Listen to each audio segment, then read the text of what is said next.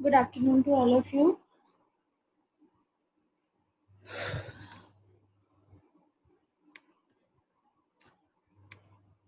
Good afternoon, Mohil.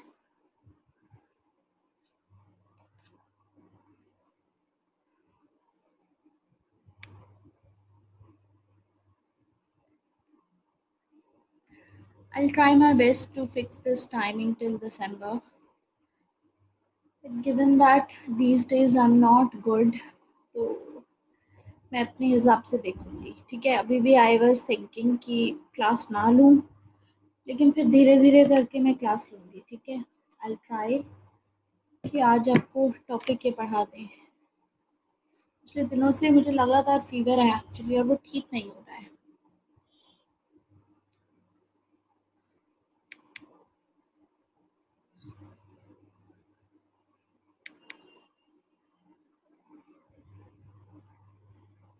हाँ दिसंबर में तो ख़त्म हो ही जाएगा। देखो, दिसंबर से ज़्यादा मैं आगे एक्सटेंड करूँगी भी नहीं।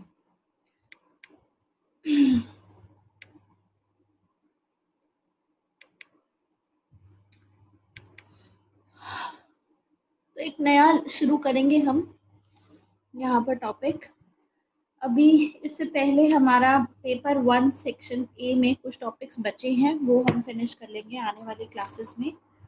ठीक है दैट आई फिनिश अभी फ़िलहाल आज के लिए हम नया स्टार्ट करेंगे बिकॉज़ ऐसे यू नो डिफ़िकल्टी रहती है हमको कवर करने में। जितने डाउट क्लियरिंग सेशन होंगे, उसमें मैं कवर कर लिया करूँगी। ठीक है? तो टॉपिक्स जो बचे हैं, वो मैं बता देती हूँ। एक तो ह्यूमन राइट्स वाला बचा है। ह्यूमन राइट्स इक्वालिटी का टॉपिक बचा है। जब भी डाउट क्लियरिंग सेशन होगा, उसमें ये फिनिश हुआ करेगा। साथ में जस्टिस का टॉपिक है।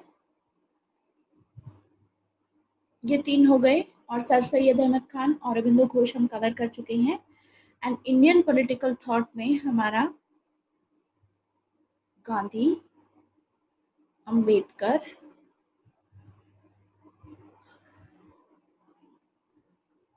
and M N Roy है। M N Roy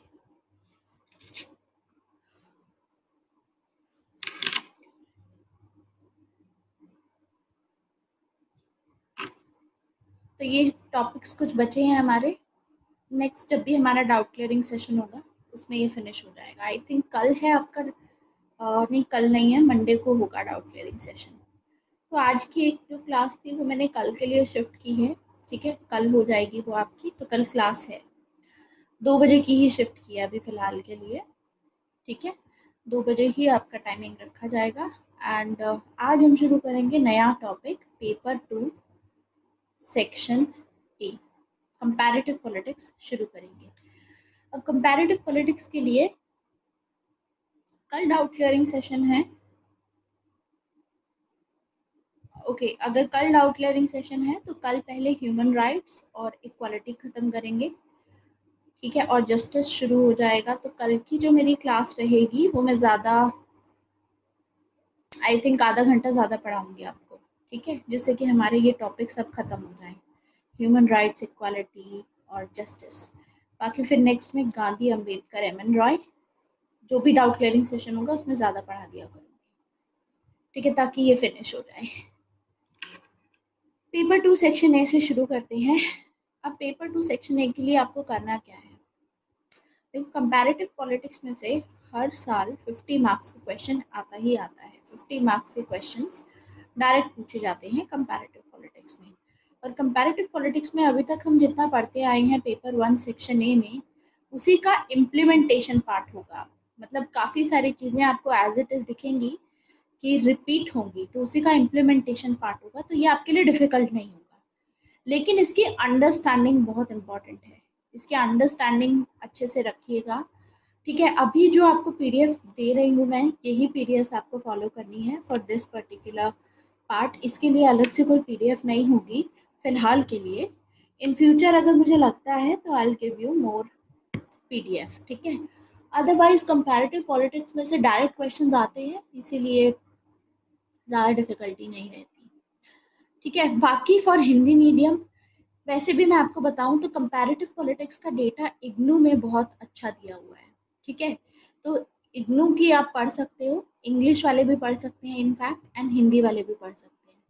comparative politics का डेटा बहुत अच्छा दिया है ठीक है? तो कंपैरेटिव पॉलिटिक्स वहाँ से पढ़ा जा सकता है। स्पेशली इग्नू वालों को हिंदी मटेरियल यहाँ से काफ़ी फ़ायदा मिल जाएगी, ठीक है? ओपी गॉबा भी है कंपैरेटिव में but I say that IGNOU ज़्यादा बेटर है। बाकी ओपी गॉबा अगर देखनी है तो देख सकते हो सेलेक्टिवली ठीक है? बट आई रेकमेंड इग्नू में ज़्यादा बेहतर है, ठीक है?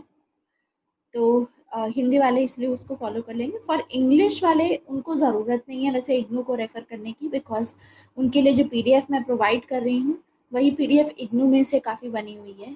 ठीक है इसमें से आधे से ज़्यादा डेटा जो है वो इग्नू में से लिया गया है।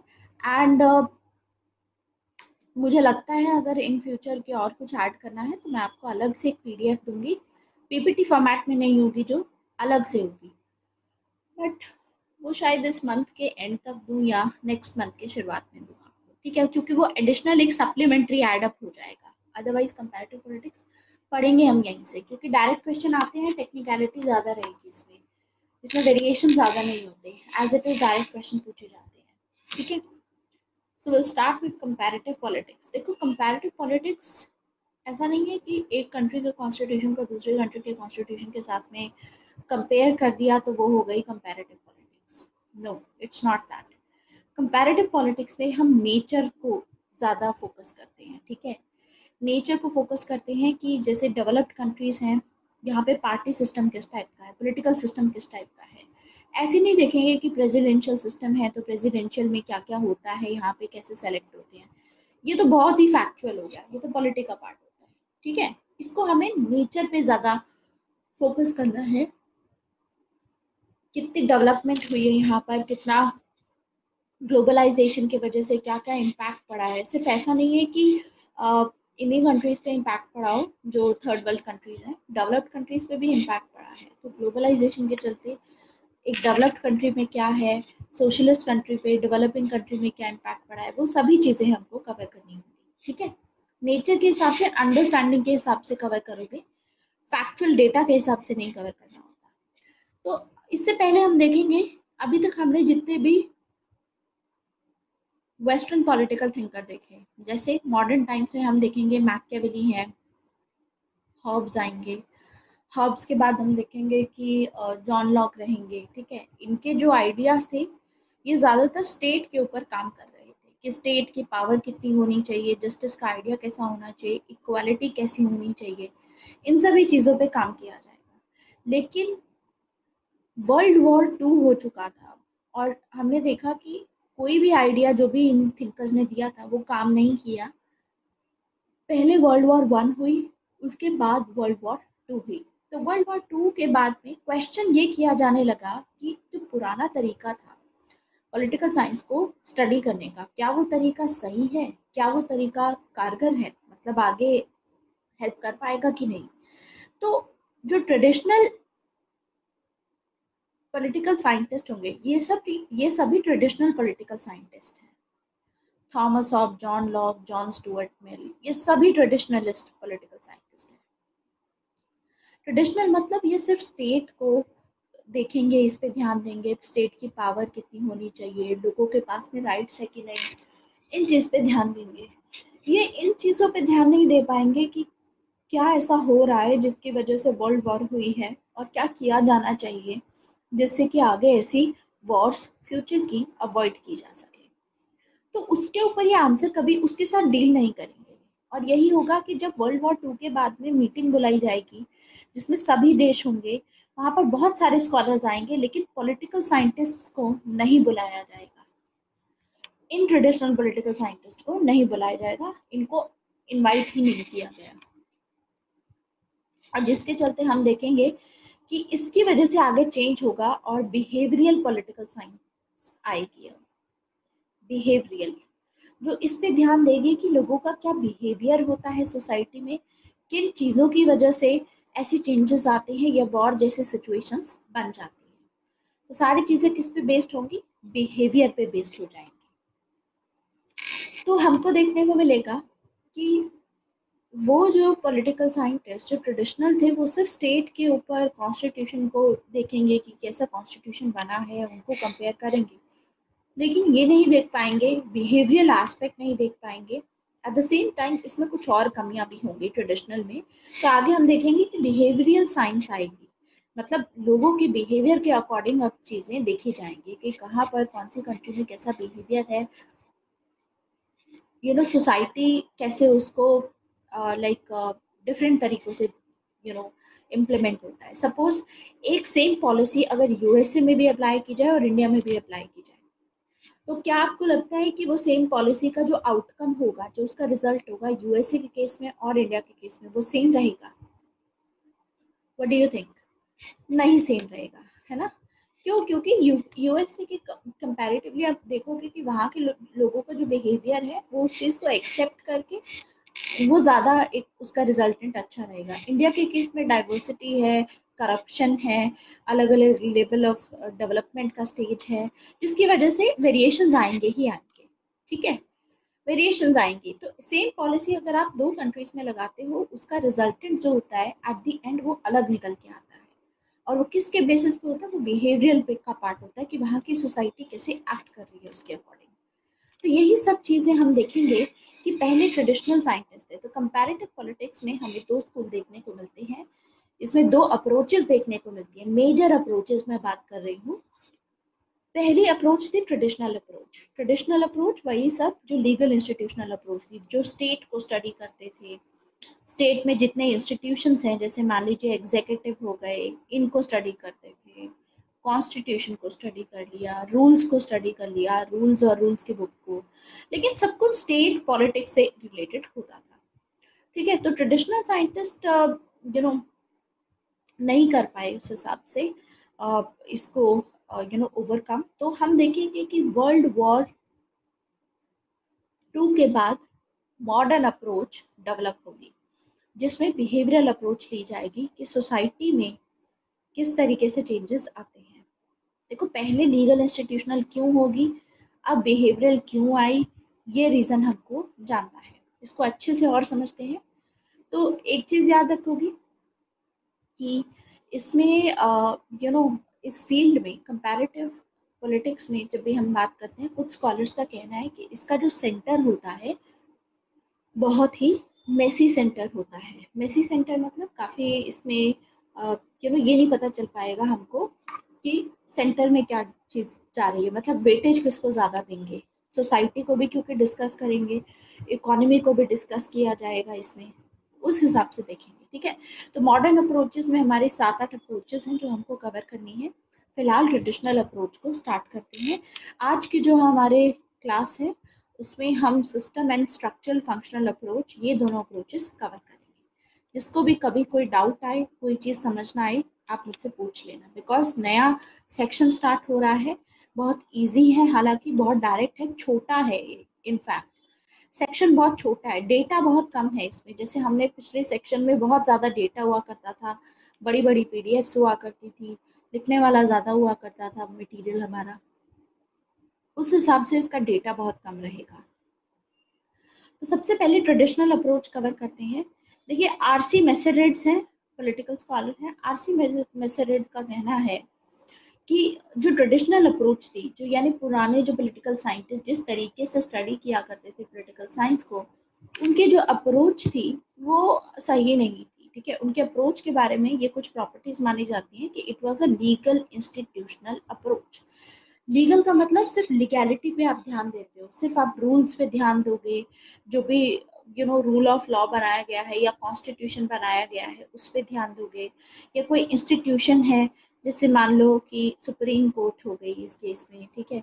या फिर आप पार्लियामेंट बना सकते हो, या फिर पार्लियामेंट के अलावा एग्जीक्यूटिव की पोजीशन पे प्राइम मिनिस्टर प्रेसिडेंट पे ध्यान दे सकते हो। तो उस चीज़ पे ज़्यादा ध्यान दिया करते थे ये लोग, ठीक है?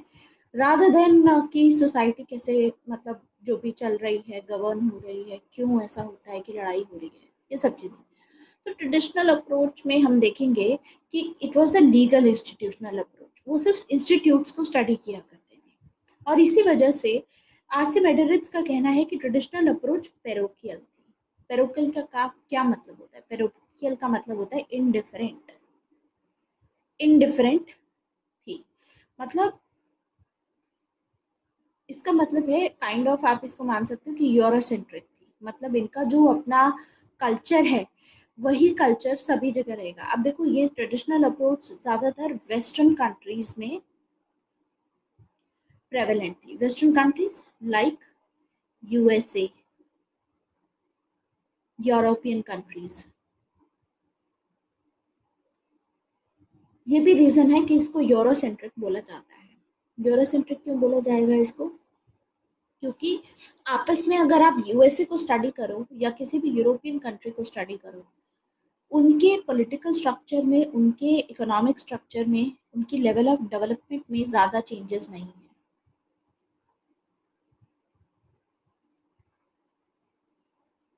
Whether it is political development, economic development, cultural development, इनका कल्चर भी सेम है। हम देखते हैं, वेस्टर्न कल्चर सब सेम है। राइट कल्चर सेम है ना? So what we see is no he is not a thinker of traditional approach वो खुद इसको क्रिटिसाइज कर रहे हैं, अंश। तो थिंकर नहीं होंगे ट्रेडिशनल अप्रोच को तो वो वैसे भी सपोर्ट नहीं करते ठीक है? तो लेवल ऑफ़ डेवलपमेंट इनका सबका सेम रहता है। वेस्टर्न कल्चर कहीं पे भी चले जाओ आप यूएसए में यूके में चले जाओ वेस्टर्न कल्चर हर जगह का सेम रहता है। It is same culture wise economic development wise ये कंट्रीज़ काफ़ी एडवांस हैं। सब जगह क्लीनलीनेस देखने को मिलेगी। वॉलमार्ट्स और ये सब चीज़ें देखने को मिलेंगी। ठीक है? पॉलिटिकल वाइज भी पॉलिटिकल सिस्टम वाइज भी जिस हिसाब से इनका काम होता है, ठीक है, वो सब काफ़ी सिमिलर रहता है। तो जब हम इनको कंपेयर करेंगे तो ज़्यादा डिफरेंस नहीं आएगा, ठीक है? इस वजह से इसको इन्होंने बोला कि जो ट्रेडिशनल अप्रोच है, ये नॉन कंपैरेटिव है। क्योंकि अगर आप यूएसए को यूके के साथ में कंपेयर कर रहे हो तो इनका तो सेम सेम है सब कुछ। कल्चर और ये सब इकोनॉमिक डेवलपमेंट पे एक ही लेवल पे है सब कुछ। आप तो कंपेयर कर रहे हो इनको, लेकिन वैसे देखोगे इन रियलिटी तो ये नॉन कंपैरेटिव ही लगेगा, क्योंकि ज़्यादा कंपेयर तो है नहीं। कंपैरिजन वहाँ होता है जहाँ डिफरेंसेस ज़्यादा रहते हैं, ना कि ना सिमिलैरिटी ज़्यादा रहती है। आपस में डिफरेंसेस ज़्यादा होने चाहिए कंट्रीज़ के बीच में। ठीक है? जिन लोगों को अभी समझ नहीं आ रहा है, अगला आधा घंटा मुझे दीजिए, उसके बाद at the end you will get to know कि क्या हो रहा है इसमें। क्यों ऐसा हो रहा है, हम क्यों डिस्कस कर रहे हैं?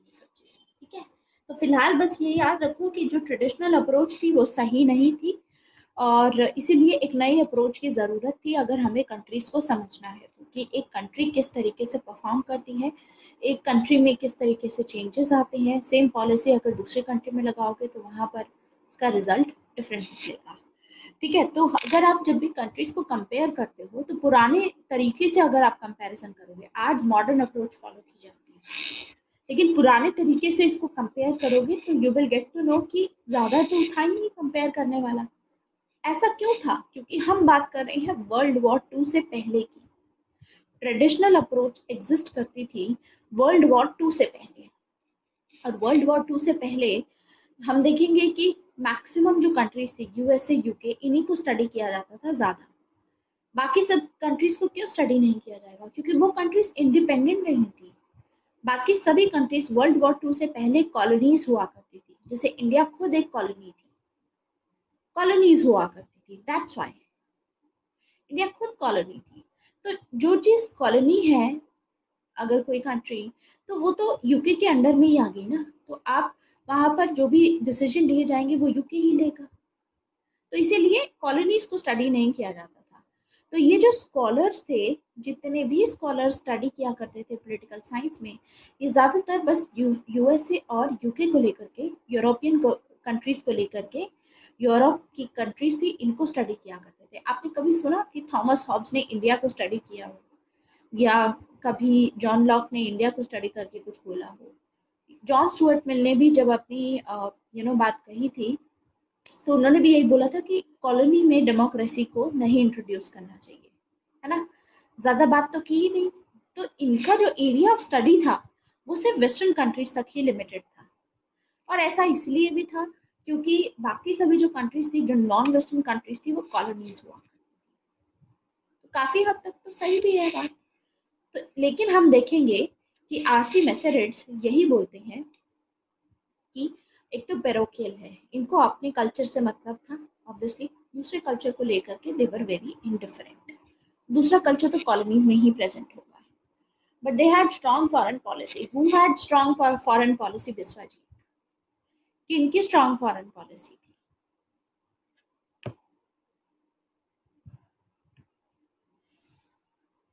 हाँ तो सभी की थी ना? हर एक की थी। तो डिफरेंस तो नहीं हुआ सेम सेम थी सबकी पॉलिसीज़ ऐसा समझ तो एक तो है पेरोकियल अपने कल्चर को लेकर के बस उसी को फॉलो करेंगे, दूसरे के कल्चर से इनको मतलब नहीं है तो यूरोसेंट्रिक एटीट्यूड हमको देखने को मिलता है। मैंने आपको एथनोसेंट्रिक एटीट्यूड बताया था। यूरोसेंट्रिक एटीट्यूड का मतलब वही होता है। आपको अपना कल्चर सही लगता है, बाकी का कल्चर लगता है कि कल्चर ही नहीं है। ठीक है? सो दूसरा ये है कि डिस्क्रिप्टिव था। मतलब जब भी आप यूएसए और यूके को पुराने तरीकों से मतलब ट्रेडिशनल अप्रोच से अगर कंपेयर करोगे, जैसे पुराने जो वाले जो पॉलिटिकल थिंकर्स थे कंपेयर किया करते थे तो you will get to know कि वो सिर्फ़ डिस्क्राइब कर रहे हैं कि यूएसए में प्रेसिडेंशियल सिस्टम ऐसा है यूके में ऐसा है कंपेयर नहीं कर रहे हैं। रियलिटी में कंपेयर ऐसे नहीं कर रहे हैं कि अगर प्रेसिडेंशियल पोजिशन ऐसी है यूएसए में और यूके में प्राइम मिनिस्ट्रियल पोजिशन है तो आपस में उनका क्या इससे इम्पैक्ट पड़ेगा? मेरे लिए it was the description of कि कौन कौन से इंस्टीट्यूशन है, कौन कौन सी पोजिशन है और किस हिसाब से इलेक्शन होता है। बस एक तरीके से डिस्क्राइब कर दिया कि देखो यूएसए में ये है यूके में ये है। आपस में कंपेयर नहीं किया। आया समझ? सो फ़र्स्ट इज़ पेरोकियन है। इनको अपने से मतलब था दूसरों, दूसरे जो कल्चर थे, क्योंकि एग्जिस्ट भी नहीं कर रहे थे कॉलोनीज थी तो उससे मतलब नहीं रहेगा। दूसरा है नॉन कंपेरेटिव इस तरीके से कंपैरिजन होगा कि सिर्फ़ लीगल और स्टेट्स और लॉस को ये आपस में यू नो स्टडी किया करते थे that was more of a description और उसमें भी हम देखेंगे कि क्योंकि इनका कल्चर सेम ही है, इनका जो थ्योरी में लिखा होगा और जो रियलिटी में होगा फॉलो उसमें कोई गैप नहीं होगा। यूएसए में अगर कोई चीज़ लिखी गई है कि ये चीज़ फॉलो करनी है तो रियलिटी में भी वो वैसे ही फॉलो होती है इंडिया के केस में ऐसा नहीं है। इंडिया के केस में हमारी कॉन्स्टिट्यूशन में कुछ लिखा हुआ है और इन रियलिटी कुछ और फॉलो करते हैं जैसे कॉन्स्टिट्यूशन में बात की गई है यूनिवर्सल एडल्ट फ्रेंचाइजी की और ये बात की गई है कि लोग अपने मुताबिक डेमोक्रेसी होगी। अपने मुताबिक लोग अपने रिप्रेजेंटेटिव चुनेंगे। लेकिन हम रियलिटी में देखते हैं कि लोग अपने कास्ट वालों को ही वोट देते हैं। है ना? तो रियलिटी और जो प्रैक्टिस में होता है और जो पेपर पे लिखा है, उसमें बहुत बड़ा डिफरेंस आ गया गैप आ गया। तो ये भी एक दिक्कत थी। ठीक है? दूसरा है कि ये मोनोग्राफिक है स्टैटिक था काफ़ी। डायनामिक कंपैरिजन नहीं था। ऐसा नहीं था कि चेंज हो रहा है, दस साल बाद आप इनको कंपेयर करोगे तो कुछ अलग निकलेगा। स्टैटिक था एक तरीके से। क्योंकि सिर्फ़ डिस्क्रिप्शन ही तो है। तो एक तरीके से स्टैटिक है, कोई चेंज आएगा ही नहीं इसमें। ये इंस्टीट्यूशन था यूएसए का। तो आप चाहे सौ साल बाद भी पढ़ोगे इसको तो ट्रेडिशनल अप्रोच से अगर पढ़ोगे तो आपको दिखेगा कि वही सेम चीज़ फॉलो हो रही है। ठीक है? वो इस तरीके से अब ये बात अंश की, वो भी तो उनकी ही मर्ज़ी होती थी कि कास्ट वालों को वोट देना है कि नहीं। मर्ज़ी तो है उनकी, लेकिन पॉइंट इज़ कि आप कास्ट बैरियर से ऊपर नहीं जा रहे हो। अभी भी आप ट्रेडिशनैलिटी में फोकस कर रहे हो रादर देन डेवलपमेंट पे ध्यान देना। है ना? तो ये डिफरेंस आता है, क्योंकि अगर आप नेचर ऑफ़ वोटिंग देखोगे, अंश, कि यूएसए में लोग कैसे वोट करते हैं और इंडिया में लोग कैसे वोट करते हैं तो बहुत बड़ा डिफरेंस आपको देखने को मिलेगा। तो जो मॉडर्न अप्रोच है, जो बिहेवियरल अप्रोच है, वो लोगों के बिहेवियर को समझने की कोशिश करती है, कि इस पर्टिकुलर कंट्री में लोग इन्हीं पार्टीज़ को क्यों वोट देते हैं? क्यों ऐसा नहीं है कि जो पार्टी अच्छा काम करती है उसको? अब इस हिसाब से तो आम आदमी पार्टी क्योंकि कास्ट पार्टी नहीं है आम आदमी पार्टी का आम आदमी पार्टी को तो देना चाहिए था सबको वोट हम देखेंगे दिल्ली को छोड़ करके हर जगह आम आदमी पार्टी फेल हो गई है। है ना? सो थ्योरी और प्रैक्टिस में बहुत बड़ा गैप है। This is what we understand तो वेस्टर्न कंट्रीज़ को ही सिर्फ़ स्टडी किया गया था क्योंकि नॉन वेस्टर्न कंट्रीज़ कॉलोनीज हुआ करती थी वेस्टर्न कंट्रीज़ की। इनके आप, आपस में यू you नो know, कोई भी इंडिपेंडेंट पॉलिटिकल सिस्टम नहीं होगा। ये इनके ऊपर डिपेंडेंट होंगी। एंड इसमें सिमिलैरिटी ज़्यादा थी और कोई ऐसा डिफरेंस वाला फीचर नहीं था कॉन्ट्रास्टिंग फीचर नहीं था जो इनको अलग अलग बताए। एकदम कि वेस्टर्न कंट्रीज़ में मान लो यूएसए में ये डिफरेंस है और यूके में ये डिफरेंस है। सिमिलैरिटीज बहुत है सेम सेम टाइप की चीज़ें देखने को मिलती है। कल्चर में डिफरेंस नहीं है पॉलिटिकल डेवलपमेंट के लेवल में भी सेम है डेवलप्ड है। इकोनॉमिक डेवलपमेंट में भी दोनों कंट्रीज़ डेवलप्ड हैं, ठीक है, ज़्यादा डिफरेंस नहीं है। अब आप देखोगे अगर आप यूके जाओ या यूएसए जाओ, आपको सेम सेम चीज़ें दिखेंगी। कल्चर भी सब अपने से मतलब रखते हैं और आपको सभी जगह क्लीनलीनेस दिखेगी। वही सेम चीज़ें आपको यूके में दिखेंगी, वैसी ही सेम चीज़ आपको यूएसए में दिखेगी। ठीक है? सो पॉइंट इज़ कि ये जो पॉइंट थे, ये जो अप्रोच था, जिस हिसाब से कंट्रीज़ को आपस में कंपेयर किया जाता था, वो सही नहीं था डायनेमिक नहीं था। तो ये सिर्फ़ रिस्ट्रिक्टेड था कि ये सिर्फ़ फॉर्मल प्रोसेसेस को स्टडी किया करते थे गवर्नमेंट को स्टडी कर लिया इंस्टीट्यूशन को स्टडी कर लिया। लेकिन हम देखेंगे कि अब क्या होगा, ये फोकस शिफ्ट हो जाएगा। वेस्टर्न कंट्रीज़ से नॉन वेस्टर्न कंट्रीज़ में पूरा फोकस चला जाएगा वर्ल्ड वॉर टू के बाद। क्योंकि वर्ल्ड वॉर टू के बाद अब आएँगी कॉलोनीज जो पहले हुआ करती थी, वो इंडिपेंडेंट हो जाएँगी। ठीक है, उनको आज़ादी मिल जाएगी और आज़ादी के बाद जो ऐसी कॉलोनीज हैं, इनका अपना एक पॉलिटिकल सिस्टम होगा। और अब अगर आप कंपेयर करोगे यूएसए के साथ में मान लो इंडिया को कंपेयर करो तो बहुत ज़्यादा डिफरेंसेस आपको देखने को मिलेंगे। इंडिया का कल्चर इंडिया में जो जैसे बिहेवियर होता है इंडिया में जैसे डिसीज़न लिए जाते हैं जिन चीज़ों के ऊपर यूएस में बहुत अलग तरीका होगा। इसीलिए एक नई अप्रोच की ज़रूरत थी अब हमें, जिसके थ्रू हम स्टडी कर पाए दोनों ही टाइप की कंट्रीज़ को। वेस्टर्न कंट्रीज़ को भी स्टडी कर पाए और नॉन वेस्टर्न को भी स्टडी कर पाए। क्योंकि जो पुराना तरीका था ट्रेडिशनल अप्रोच जो थी, जिससे हम स्टडी करते थे, वो फेल हो जाएगी। वो नॉन वेस्टर्न कंट्रीज़ को नहीं पढ़ पाएँगी। उस हिसाब से नहीं स्टडी कर पाएँगे। क्योंकि वो भी, अब देखो वेस्टर्न कंट्रीज़ और नॉन वेस्टर्न कंट्रीज़ को मान लो, हम कंपेयर करते हैं। लेट अस कंपेयर यूएसए को और इंडिया से कंपेयर करते हैं। ठीक है, अब यूएसए या यूके ले लो, ठीक है? यूके में भी पार्लियामेंट्री सिस्टम है, अब इंडिया में भी पार्लियामेंट्री सिस्टम है, ठीक है? ऐसे कंपेयर कर दिया।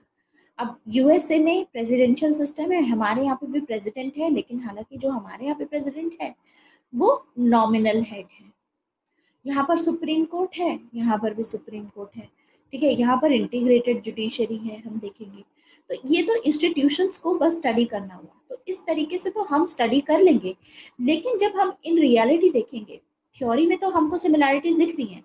लेकिन इन प्रैक्टिस जब आप देखोगे तो यूएसए में तो पेंडिंग केसेस नहीं है इतने जुडिशरी के। लेकिन इंडिया में देखोगे अगर आप तो इंडिया में आज के टाइम पे ऑलमोस्ट तीन करोड़ केसेस जो हैं, वो पेंडिंग है। ऑन पेपर सब कुछ सेम दिखेगा। आपको लेकिन इन रियलिटी बहुत बड़ा गैप है। तो यानी ट्रेडिशनल अप्रोच अब कारगर साबित नहीं होगी, जिसके थ्रू हम western countries and non western countries दोनों को ही स्टडी कर पाए। आया समझ? ये अब दिक्कत थी, इसीलिए हमने पढ़ा कि आरसी मेटेरिट्स क्यों बोलते हैं कि जो ट्रेडिशनल जो अप्रोच थी वो एकदम फेल हो चुकी है, नए अप्रोच की ज़रूरत है। तो क्वेश्चन जब आएगा तो इस हिसाब से हम कर सकते population is to be blame not the system no it's not that population ज़्यादा भी हो तो भी आप uh, कर सकते हो। यू नो चेंज रहेगा। अब देखो चाइना की पॉपुलेशन इंडिया की पॉपुलेशन काफ़ी क्लोज है राकर स्टिल विल से कि जिस हिसाब से डेवलपमेंट चाइना में हो रही है और जिस हिसाब से डेवलपमेंट इंडिया में हो रही है वो तो बिल्कुल डिफरेंट है। Am I correct population is not the way. It can be one of the reason, but totally we cannot base it upon population. Mindset culture की भी बात होती है। अब इंडिया वालों ने मॉडर्नाइजेशन एक्सेप्ट किया, ठीक है डेमोक्रेसी इंट्रोड्यूस की तो वो सभी चीज़ें हम देखते हैं। वरना अगर यही रहता पॉपुलेशन ही रीजन होता, राघव तो आज के टाइम पे इंडिया की पॉपुलेशन कंपैरेटिवली इतनी ज़्यादा है यूएसए की पॉपुलेशन से तो जीडीपी वाइज तो हमें आगे होने चाहिए थे। चाइना तो सरपास कर ही चुका है। यूएसए को पीपी यू नो पीपीपी में परचेजिंग पावर पैरिटी में। और बहुत जल्दी जीडीपी वाइज भी सरपास कर लेगा। लेकिन इंडिया क्यों नहीं कर पाएगा? यूएसए फिर भी आगे है हमसे। कुछ ना कुछ तो रीजंस होंगे ना कि क्यों वहाँ पर डेवलपमेंट कोई भी एक्शन लिया जाता है तो वहाँ ज़्यादा बेहतर काम करता है। हमारे यहाँ काम नहीं करता है। तो इसीलिए कंपैरेटिव पॉलिटिक्स का मतलब ये नहीं है कि हमको यूएसए को इंडिया के साथ में कंपेयर करना है कि यूएसए में ये कंट्रीज़ ये पोजीशंस है, ये इंस्टीट्यूट है या ये पोस्ट है, उसको अपने इंडिया की पोस्ट के साथ में कंपेयर कर दिया। इट इज़ नॉट दैट यहाँ पर कवर करना है नेचर हमको कि ऐसा क्या है जिसकी वजह से सेम चीज़ें सेम एक्शंस अगर हम लगाएँ तो अलग अलग आउटकम देखने को मिलता है। आई समझ हाँ जैसे एक्टिव पैसिव सिटीजन इशू हो गया। कुछ लोग, जैसे यूएसए में लोग बहुत एक्टिव हैं। वोटिंग को लेकर के, अपने राइट्स को लेकर के इंडिया में इतनी एक्टिवनेस हम नहीं देखते हैं। तो मल्टीपल फैक्टर्स हैं, ठीक है? तो ये चीज़ है तो सपोज़ आपको कोई क्वेश्चन आता है व्हाट इज़ कंपैरेटिव पॉलिटिक्स उसकी एवोल्यूशन आप डिस्कस कीजिए। Suppose this is the question तो आप कैसे लिखेंगे? सबसे पहले तो आप इसमें यही बताएँगे जो कंपैरेटिव पॉलिटिक्स है क्या? ठीक है? इसका गोल क्या है? Basically what is comparative politics तो कंपैरेटिव पॉलिटिक्स का गोल क्या है? To encompass the major political similarities and differences between two countries जो मेजर पॉलिटिकल सिमिलैरिटीज हैं एंड डिफरेंसेस हैं, उसको ये कवर करता है। गोल है ये जानना। ठीक है? तो इसका जो टास्क रहता है, वो यही रहता है कि कुछ ऐसे पर्सपेक्टिव है, जैसे मान लो कुछ चीज़ें कांस्टेंट होंगी, कुछ चीज़ें वेरिएबिलिटी होंगी, वो सभी को पता करना कि गवर्नमेंट में कौन सी चीज़ें हैं जो कांस्टेंट यहाँ पर बनी हुई हैं और जिसकी वजह से ऐसे कौन से वेरिएशन आ रही हैं, जिसकी वजह से चेंजेस भी आती हैं लेवल ऑफ़ डेवलपमेंट का चेंज है। अगर अगर सेम पॉलिसीज़ हम मान लो पाकिस्तान में लगाते हैं और इंडिया में भी लगाते हैं तो आपको पता है इंडिया ज़्यादा आगे रहेगा और पाकिस्तान थोड़ा पीछे रहेगा। लेवल ऑफ़ डेवलपमेंट उस हिसाब से नहीं होगी। कंपैरेटिवली अगर आप देखोगे भी तो ये मैटर करता है कि किस टाइप का पॉलिटिकल सिस्टम था और पॉलिटिकल सिस्टम में कैसे चेंजेस आए। तो गुनार मेड्रियाल इसमें हम दोबारा से पढ़ेंगे। ऐसी हमजालवी ओवर डेवलप्ड स्टेट का जो कॉन्सेप्ट है हमजालवी का, वो हम दोबारा से पढ़ेंगे। जो हमजालवी बोलते हैं पाकिस्तान के बारे में, कि पाकिस्तान के अंदर पॉलिटिकल डेवलपमेंट इतनी ज़्यादा है, जिसकी वजह से इकोनॉमिक डेवलपमेंट नहीं हो पा रही है। तो हम जानने की कोशिश करेंगे कि ऐसा क्या रीज़न है? पॉलिटिकल डेवलपमेंट तो अच्छी होती है, लेकिन पॉलिटिकल डेवलपमेंट इकोनॉमिक डेवलपमेंट के लिए क्यों काम नहीं कर रही है? वो सभी चीज़ें समझने की कोशिश करेंगे। तो सबसे पहले आप कंपैरेटिव पॉलिटिक्स को डिफाइन करेंगे, उसके बाद बताएँगे एवोल्यूशन में कि 1955 में आरसी मैसेरेट्स थे इन्होंने बताया, इन्होंने क्रिटिसाइज किया ट्रेडिशनल अप्रोच को कि ये नॉन कंपैरेटिव है डिस्क्रिप्टिव है पेरोकियल है स्टैटिक है मोनोग्राफिक है। ऐसे बताओगे, ठीक है? Mainly it is non comparative and descriptive only ठीक है? सो इनकी जो ये खुद ही बताते हैं कि कंपैरेटिव पॉलिटिक्स जो ट्रेडिशनल पॉलिटिक्स पॉलिटिशियंस थे, जो जो ट्रेडिशनल हमारे थिंकर्स थे, वो कुछ नंबर ऑफ़ कंट्रीज़ को जब डिस्क्राइब करेंगे, बस डिटेल में डिस्क्राइब करते हैं कंपैरिजन नहीं करेंगे ज़्यादा, ठीक है? बस डिस्क्रिप्शन ज़्यादा है इसमें it is monographic in character एक ही एंगल से बस इंस्टीट्यूशंस को मोनोटोनस तरीके से बस डिस्क्राइब कर दिया। डायनेमिक तरीका नहीं है कि चेक किया जाए कि सेम चीज़ के ऊपर क्या क्या डिफरेंट फैक्टर्स अप्लाई करके हम देखेंगे कि डिफरेंस ठीक है? तो उसी के बेसिस पे ये बताओगे आपकी जो ट्रेडिशनल अप्रोच थी, बहुत ही नैरोअर इन स्कोप थी, इस वजह से एक नई अप्रोच की ज़रूरत थी। और that's when this modern approach will come ठीक है? क्योंकि अब वर्ल्ड वॉर टू के बाद से फोकस शिफ्ट हो जाएगा, क्योंकि अब ज़रूरत होगी जो नई कंट्रीज़ उभर रही हैं, उनके बीच में और यूएसए और यूरोपियन कंट्रीज़ जो हैं, इनके बीच में बहुत बड़ा गैप होगा। और उसको समझने के लिए ट्रेडिशनल अप्रोच काफ़ी नहीं थी उसका क्योंकि स्कोप ही बहुत नैरो था, वो नहीं कवर कर सकती। दैट्स वाई हमें मॉडर्न अप्रोच की ज़रूरत पड़ी। क्योंकि अब रियलाइज़ किया गया कि हमको सिर्फ़ कॉन्स्टिट्यूशन की स्टडी नहीं करनी है, हमको इसके बियॉन्ड भी स्टडी करनी होगी। ये जानने के लिए कि क्यों ऐसा होता है कि यहाँ पर और यहाँ पर डिफरेंट लेवल ऑफ़ डेवलपमेंट रहेगा। सेम पॉलिसी का। सो वेस्टर्न वर्ल्ड में जब भी हम देखते हैं तो थ्योरी और प्रैक्टिस के बीच में कोई गैप नहीं मिलता। लेकिन नॉन वेस्टर्न वर्ल्ड में हमेशा थ्योरी एंड प्रैक्टिस में गैप रहता है। जो चीज़ आपके रूल में लिखी है रूल बुक में लिखी है, वो इन रियलिटी कैसे फॉलो की जा रही है, बहुत डिफरेंट रहता है। ठीक है? क्योंकि फिर पता चलेगा कि कुछ ऐसे एक्स्ट्रा कॉन्स्टिट्यूशनल फैक्टर्स भी होते हैं। सिर्फ़ ऐसा नहीं है कि कॉन्स्टिट्यूशनल फैक्टर के बेसिस पे ही आप इसको कंपेयर करो, कुछ एक्स्ट्रा कॉन्स्टिट्यूशनल फैक्टर्स होते हैं, जैसे नेचर ऑफ़ सोसाइटी हो गई। अब यहाँ का सोसाइटी कैसी है? वहाँ की सोसाइटी इंडिविजुअलिस्टिक थी। इंडिया वाली जो सोसाइटी है या नॉन वेस्टर्न कंट्रीज़ में आपको कलेक्टिव कल्चर देखने को मिलता है। तो एक तो फैक्टर ये रहा कल्चर भी अलग अलग होता है। इंडिया में ही देख लो कितनी डाइवर्सिटी है। यहाँ पर डाइवर्सिटी नहीं है। वेस्टर्न कंट्रीज़ में हम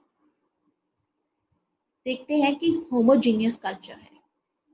मतलब सभी एक ही प्रकार का कल्चर इंडिविजुअलिस्टिक कल्चर फॉलो करते हैं होमोजेनिटी है। स्टेज ऑफ़ इकोनॉमिक डेवलपमेंट भी अलग होगा। ये बहुत आगे हैं, ये कंट्रीज़ बहुत पीछे हैं सारी। मॉडर्नाइजेशन का लेवल बहुत अलग है। टेक्नोलॉजी वाइज मॉडर्नाइजेशन वाइज यहाँ पर अभी जो आपको ऐसी ऐसी चीज़ें यहाँ पर मिलेंगी, जैसे यहाँ पर अभी भी फाइव चल रहा है। ठीक है? चल चुका है और इंडिया में अभी तक फाइव इंट्रोड्यूस नहीं हुआ है। अभी भी हम फोर पे ही चल रहे हैं। फाइव अभी आएगा। ठीक है? एंड uh, तो ये सभी चीज़ें देखने को मिलती हैं। ये तो खैर फोर जी और फाइव जी की बात हो गई। और भी बहुत सारे ऐसे इश्यूज़ हैं। जैसे कोई भी चीज़ लॉन्च होती है जो टेक्नोलॉजिकली बहुत ही एडवांस होती है तो सबसे पहले वो यूएसए वगैरह में आते हैं। जैसे यूएस में you know they can directly अपने लाइक uh, like, ये चीज़ अब इंट्रोड्यूस की जाएगी कि लोग अपने uh, पीसी मतलब अपनी टीवी से ही। They can convert the TV into PC and वो उसी में सब कुछ देखते हैं लाइक नेटफ्लिक्स कल्चर और ये सब चीज़ें रहती हैं। हमारे यहाँ पे अभी भी ट्रेडिशनल मेथड है वो केबल वाला के चैनल्स आते हैं और ये सब चीज़ें रहती हैं। हालाँकि चेंज हो चुका है काफ़ी कुछ। अभी गीगा फाइबर के बाद में और चेंजेस आ जाएँगे। अब वहाँ पर क्या होता है कि मूवी जो भी लॉन्च होती है थिएटर्स में थोड़ा कम रहता है वहाँ पर। रादर लोग अपने ही घर पे बैठ करके they usually purchase that movie online directly वो परचेज कर लेते हैं। जैसे आप अपना परचेज मतलब टिकट परचेज करते हो, ऐसा भी आप डायरेक्टली अपनी टीवी पे देख सकते हो वहाँ पर। यहाँ पर अब वो कल्चर आने वाला है कि डायरेक्टली आपकी टीवी पे you know movies you know launch हुआ करेंगी for certain section of people giga fiber में। तो दिस इज़ द पॉइंट कि लेवल ऑफ़ मॉडर्नाइजेशन बहुत डिफरेंट है, ठीक है? जैसे हमारे यहाँ पे एलईडी और ये सब चीज़ें अभी आई हैं। वहाँ पर एलईडी कब से है? और आपको पता है कि एलईडी वहाँ पर यू नो कितना एनर्जी सेविंग अगर यही एलईडी जिस टाइम पे उनके पास में थी, अगर आज इंट्रोड्यूस की जा मतलब उसी टाइम इंट्रोड्यूस कर दी जाती इंडिया में तो कितना ज़्यादा मतलब कार्बन फुटप्रिंट वाइज भी आप देखोगे इलेक्ट्रिसिटी वेस्टेज और ये सब चीज़ों में इलेक्ट्रिसिटी कंजर्वेशन में कितना ज़्यादा फ़ायदा मिलता है इसका। तो लेवल ऑफ़ मॉडर्नाइजेशन भी अलग रहती है। बहुत सारे फैक्टर्स होते हैं जिसके चलते हम देखेंगे कि पूरा चेंज आ जाता है इसमें, दो कंट्रीज़ के बीच में। तो इसीलिए मॉडर्न अप्रोच अप्लाई की गई और मॉडर्न अप्रोच में बहुत सारी अप्रोच हैं जिसमें से आती है एक सिस्टम अप्रोच दूसरी है स्ट्रक्चरल फंक्शनल ऐसे ही political culture political sociology political economy political double I think modernization political modernization approach ये सभी अभी हम कवर करेंगे आने वाली क्लासेस में। फ़िलहाल के लिए आज सिस्टम अप्रोच से शुरू करेंगे। ठीक है तो जो कंपैरेटिव पॉलिटिक्स है मॉडर्न अप्रोच के अंडर में हम देखेंगे कि कंपैरेटिव पॉलिटिक्स जब भी हम कंपेयर करते हैं मॉडर्न अप्रोचेस के चलते तो स्कोप बहुत ज़्यादा वाइड हो जाता है। ट्रेडिशनल अप्रोच में नैरो स्कोप था, है ना? बहुत कम स्कोप था कि जब भी कंपेयर करते तो ज़्यादा डिफरेंसेस निकल के आए।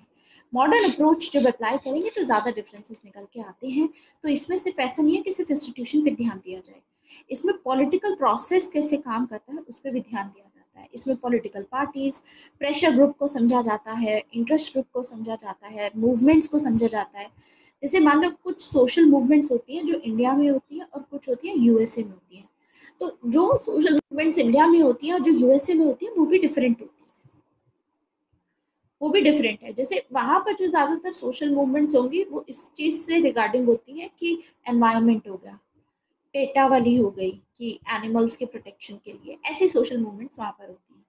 इंडिया में आज भी करप्शन को लेकर के मूवमेंट्स चल रही हैं। पुराने ज़माने की मूवमेंट्स चल रही हैं। मतलब अभी तक भी उतना लेवल नहीं आया। वहाँ पर क्वालिटी ऑफ़ लाइफ के ऊपर ज़्यादा होती है। एक टाइम था जब इंडिया में हम देखेंगे कि ऑपरेशन से रिलेटेड ही मूवमेंट्स थी जितनी दलित मूवमेंट हो गई, ठीक है पीजेंट मूवमेंट हो गई। ये सभी उस टाइप की मूवमेंट ट्रेडिशनल टाइप की ठीक है? अब मॉडर्न मूवमेंट्स में जो न्यू सोशल मूवमेंट्स है उसमें क्वालिटी ऑफ़ लाइफ को लेकर के लोग बहुत कंसर्न है और उसी को ज़्यादा फोकस करेंगे ठीक है?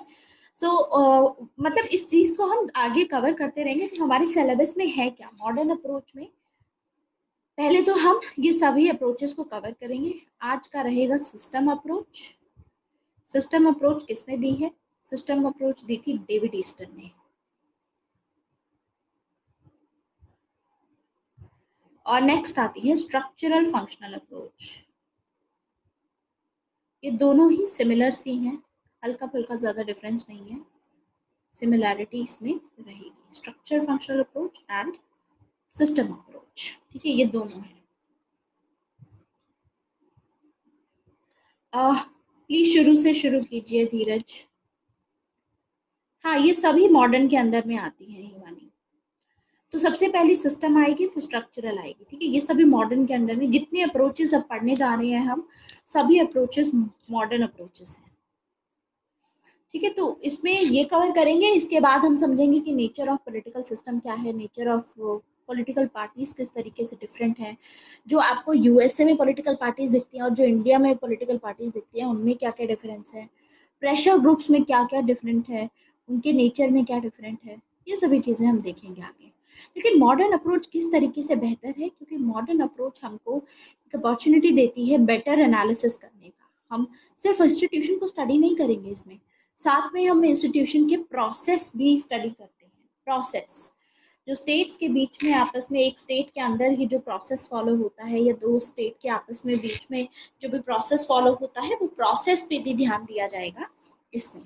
मॉडर्न अप्रोच में। तो सिर्फ़ इंस्टीट्यूशन नहीं है प्रोसेस पे भी कि कैसे पूरा सिस्टम काम करता है पूरा प्रोसेस कैसे होता है जैसे यू नो उस चीज़ पे ध्यान दिया जाएगा। सिस्टम अप्रोच पे तो वैसे भी स्पेसिफिकली प्रोसेस पे ही ध्यान दिया गया है। सो so, ये मल्टी डिसिप्लिनरी है। देखो जो सबसे पहले ट्रेडिशनल अप्रोच थी हम उसमें यही देखते थे कि ट्रेडिशनल अप्रोच में सिर्फ़ पॉलिटिक्स पे ध्यान दिया जाता था, ठीक है? स्टेट हो गया, पॉलिटिक्स हो गया, इस चीज़ पे ध्यान दिया जाता था। लेकिन अब जो मॉडर्न अप्रोच होगी, इसमें सोसाइटी पे भी ध्यान दिया जाएगा, ठीक है? सोसाइटी पे इकोनॉमी पे कल्चर पे, सभी चीज़ों पे ध्यान दिया जाएगा। तो मतलब अलग अलग डिसिप्लिन पे भी ध्यान दिया जाएगा और उसको पॉलिटिक्स के साथ में जोड़ा जाएगा। ये देखते हैं हम, ठीक है? तो इसीलिए modern approach is multi disciplinary in outlook this is very important आप जहाँ पर भी अपना फ्लो चार्ट बना रहे हैं मॉडर्न अप्रोच के पॉजिटिव पॉजिटिव लिख लीजिए। कि क्या क्या पॉजिटिव हैं इसके? पॉजिटिव एक रहेगा वाइडर इन स्कोप है, ठीक है? सिर्फ़ इंस्टीट्यूशन नहीं है पॉलिटिकल प्रोसेसेस भी हैं इसमें, जैसे पॉलिटिकल पार्टीज़ कैसे काम करेंगी प्रेशर ग्रुप्स आप देखोगे, किसी ने भी पहले पॉलिटिकल पार्टीज़ या प्रेशर ग्रुप्स के बारे में बात नहीं की। अभी तक हम पेपर वन सेक्शन पढ़ते आए हैं। Did we talk about this political parties pressure groups और या फिर social movements we never talked about such things तो यहाँ पर उस चीज़ का भी इसमें रहेगा। तो प्रोसेसेस को समझा जाएगा। सिर्फ़ पॉलिटिक्स के इंस्टीट्यूशन को नहीं, कि किसको ज़्यादा पावर देनी है, ये भी समझा जाएगा कि बाकी जो एलिमेंट्स हैं सोसाइटी के, वो किस तरीके से इन्फ्लुएंस करते हैं पॉलिटिक्स को। ठीक है? और मल्टीडिसिप्लिनरी है। इसमें सिर्फ़ पॉलिटिकल साइंटिस्ट पे साइंस पे ध्यान नहीं दिया जाएगा, बल्कि हिस्ट्री इकोनॉमिक्स सोशियोलॉजी इनके साथ में थोड़ा एसोसिएट करके कवर किया जाएगा।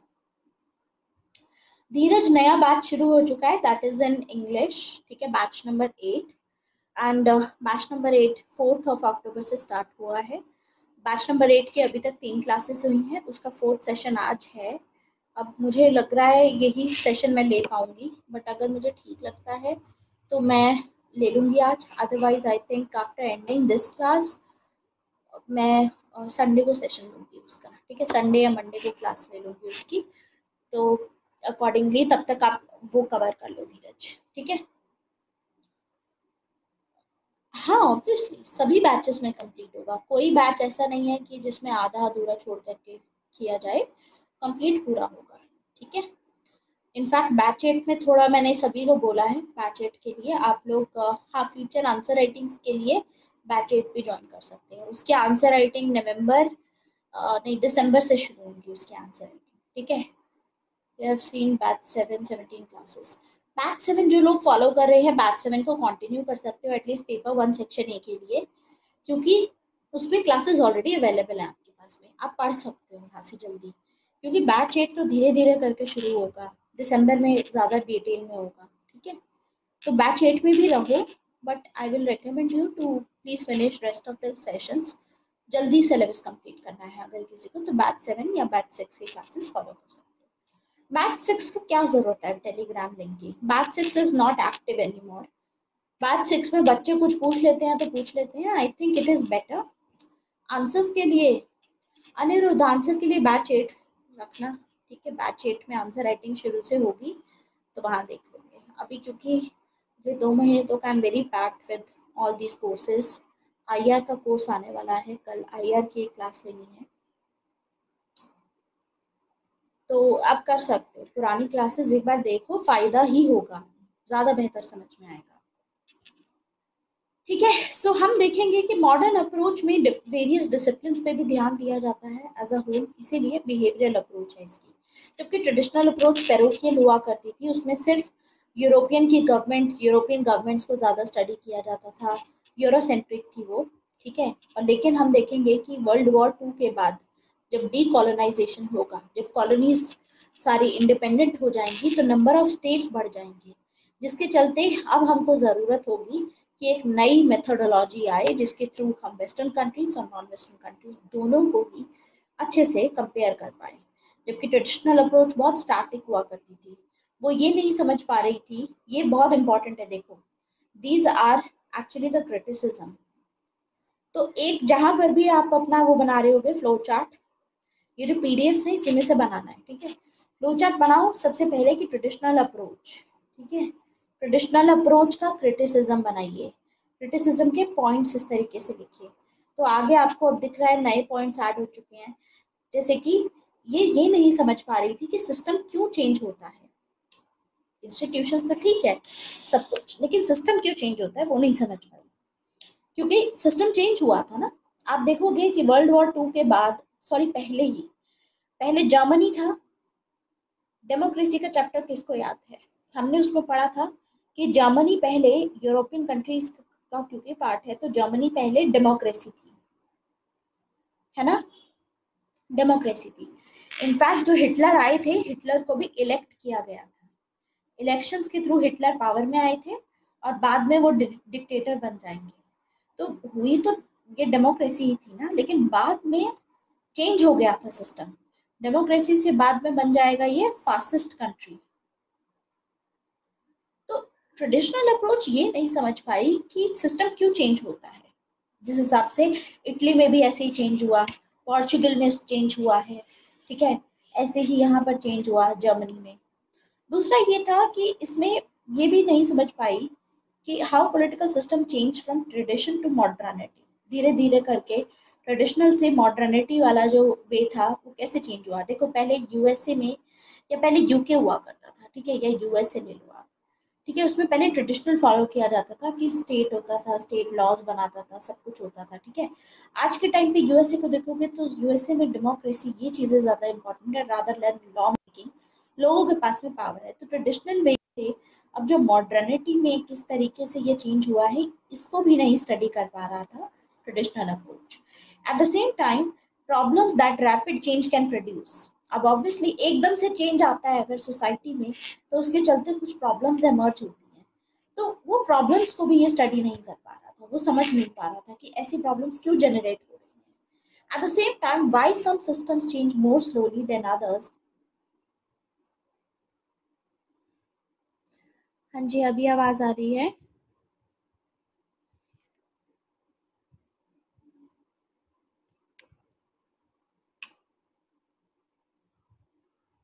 ओके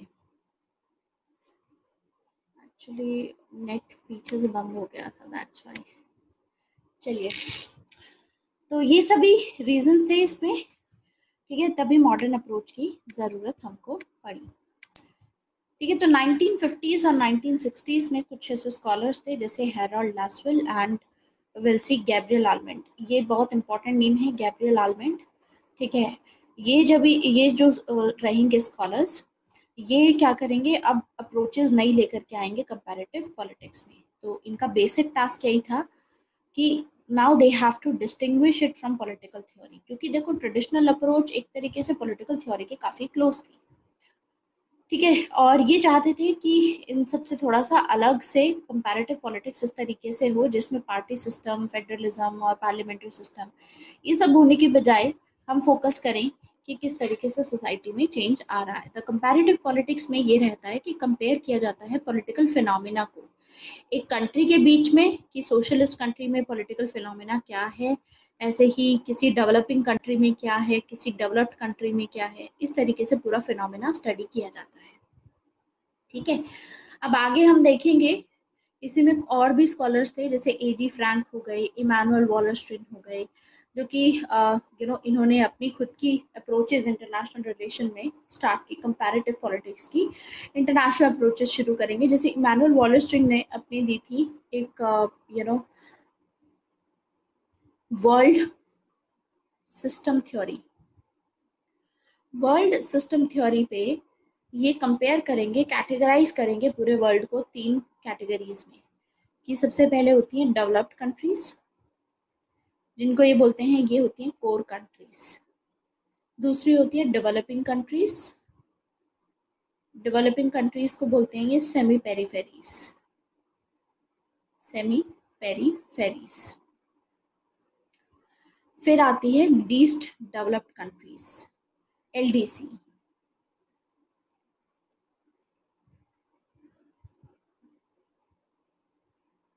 least developed countries इनको बोला जाता है पेरीफेरीज तो मतलब अलग अलग अप्रोचेज आएँगी अब कंपेयर करने की कैटेगराइजेशन होगी और बताया जाएगा कि यहाँ पर ज़्यादा डेवलपमेंट है टेक्नोलॉजिकल पावर है यहाँ पर। इन कंट्रीज़ में बिल्कुल नहीं है। ये कंट्रीज़ ट्रांजिशन में हैं। जैसे इंडिया एंड चाइना जैसी जो कंट्रीज़ हो गई। यहाँ पर ग्रोथ हो रही है। काफ़ी ज़्यादा ये यहाँ से जो new liberal world order start किया गया था। नियो लिबरल वर्ल्ड ऑर्डर जिसमें नियो लिबरलिज्म याद है आपको? मार्केट पे सब कुछ छोड़ा जाएगा। तो बिकॉज़ मार्केट को ओपन किया गया, सब कुछ किया गया तो उसकी वजह से इन कंट्रीज़ में भी कुछ फ़ायदा हो जाएगा। जैसे इंडिया अपनी मार्केट ओपन करेगा चाइना अपनी मार्केट ओपन करेगा तो इसी वजह से इंडिया और चाइना में डेवलपमेंट हुआ।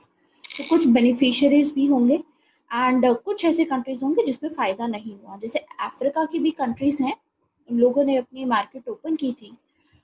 मार्केट ओपन करने के बावजूद यहाँ पर इनको कोई फ़ायदा नहीं मिला। ठीक है, आज भी ये कॉलोनीज की तरह ही मतलब नियो कॉलोनीज की तरह एक्ट कर रही हैं, क्योंकि इतना डेवलपमेंट इनके यहाँ नहीं हुआ। ठीक है? So this is about developed developing and least developed countries तो शिफ्ट अब होगा यहाँ पर कंपैरेटिव गवर्नमेंट का पॉलिटिक्स से। पहले गवर्नमेंट होती थी, पहले सिर्फ़ गवर्नमेंट को कंपेयर किया जाता था। तो जो लीगल इंस्टीट्यूशनल अप्रोच हुई, वो लीगल इंस्टीट्यूशनल अप्रोच को कंपैरेटिव गवर्नमेंट बोलते हैं। कंपैरेटिव पॉलिटिक्स में पूरा प्रोसेसेस कवर किए जाते हैं, जैसे पार्टी सिस्टम ये सभी चीज़ें कवर की जाती हैं। ठीक है? तो इस तरीके से पूरा आया है। तो मॉडर्न अप्रोच शुरू करेंगे। और मॉडर्न अप्रोच में अगले आधे घंटे में ये फिनिश हो जाएगा बिकॉज़ ज़्यादा इसमें है नहीं। ठीक है डिफरेंसेस सबसे पहले मॉडर्न अप्रोच में रहेगा डेविड ईस्टर्न की सिस्टम अप्रोच आएगी, ठीक है? सिस्टम अप्रोच में क्या होगा? एक सिस्टम की तरह ये डिसाइड करने की कोशिश करेंगे, एक सिस्टम डिफाइन करेंगे कि देखो, पूरी दुनिया के जो पॉलिटिकल सिस्टम होते हैं, एक सिस्टम की तरह काम करते हैं, ठीक है?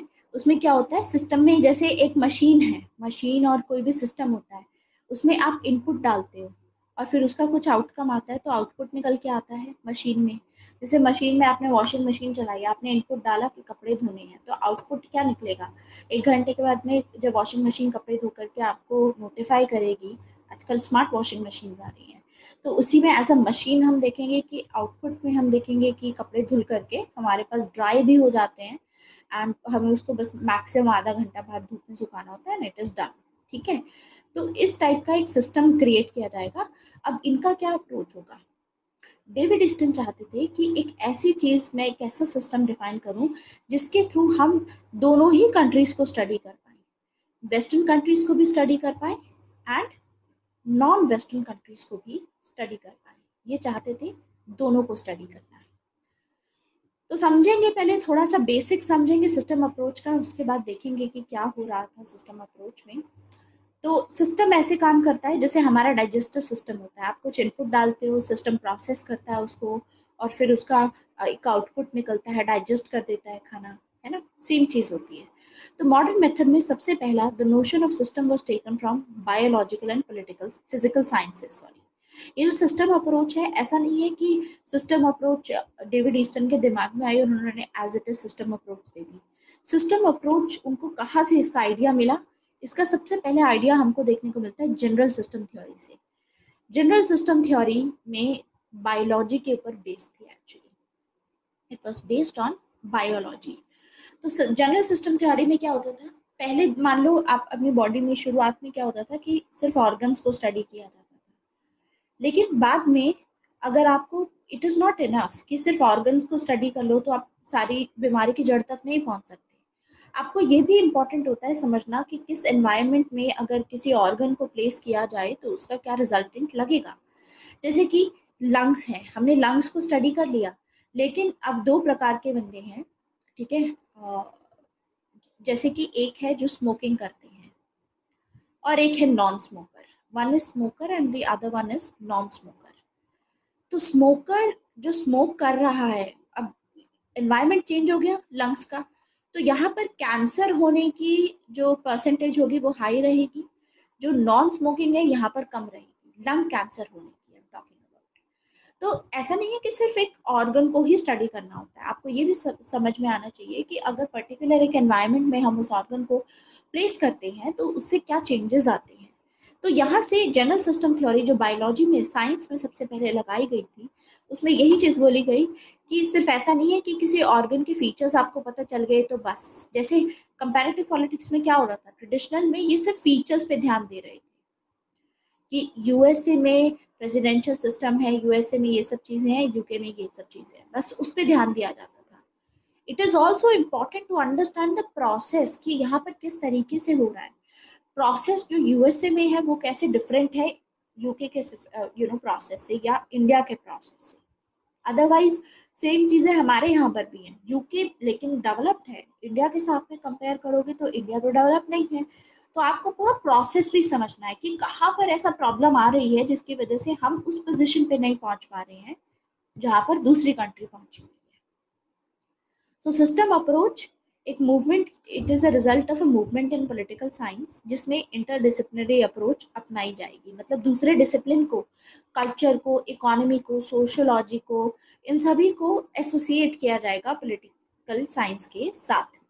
लेकिन ऐसा नहीं था कि डेविड ईस्टन ने जनरल सिस्टम थ्योरी में देखा कि वहाँ पर ऐसे कुछ बात की गई सिस्टम की बात की गई तो हम भी मतलब पॉलिटिकल साइंस में एक सिस्टम अप्लाई करेंगे। ये इम्प्रेस थे टेलकॉट पार्सन से। This is not F this is T Talcott Parson है। टेलकॉट पार्सन सोशोलॉजी के यू नो थिंकर थे सोशोलॉजिस्ट हैं।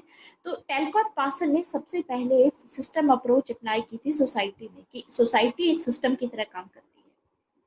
तो इन्हीं से इंस्पायर होकर के सिस्टम अप्रोच डेविड ईस्टन ने सोशल साइंस डेविड ईस्टन ने पॉलिटिकल सिस्टम में ये कॉन्सेप्ट लगाया। आया समझ? तो ओरिजिनल आइडिया नहीं था ये आइडिया ओरिजिनली था बायोलॉजी में, लेकिन वहाँ से भी टेलकॉट पासन ने लगाया था और टेलकॉट पासन से इन्फ्लुएंस होकर के डेविड ईस्टन ने लगाया। तो इसमें यही है कि सिस्टम पे ध्यान दिया जाता है। सिस्टम में कुछ एलिमेंट्स होंगे जो आपस में इंटरैक्ट करते हैं। ठीक है, जैसे कि लंग्स हैं। लंग्स आपस में इंटरैक्ट कर रहे हैं। मतलब एक स्मोकर है। ठीक है तो लंग्स इंटरैक्ट कर रहा है। स्मोक कोई स्मोक कर रहा है उसके साथ में। तो जब लंग्स का स्मोक जो आएगी, उसके साथ में इंटरेक्शन होगा तो वो कैंसर में रिज़ल्ट करेगा।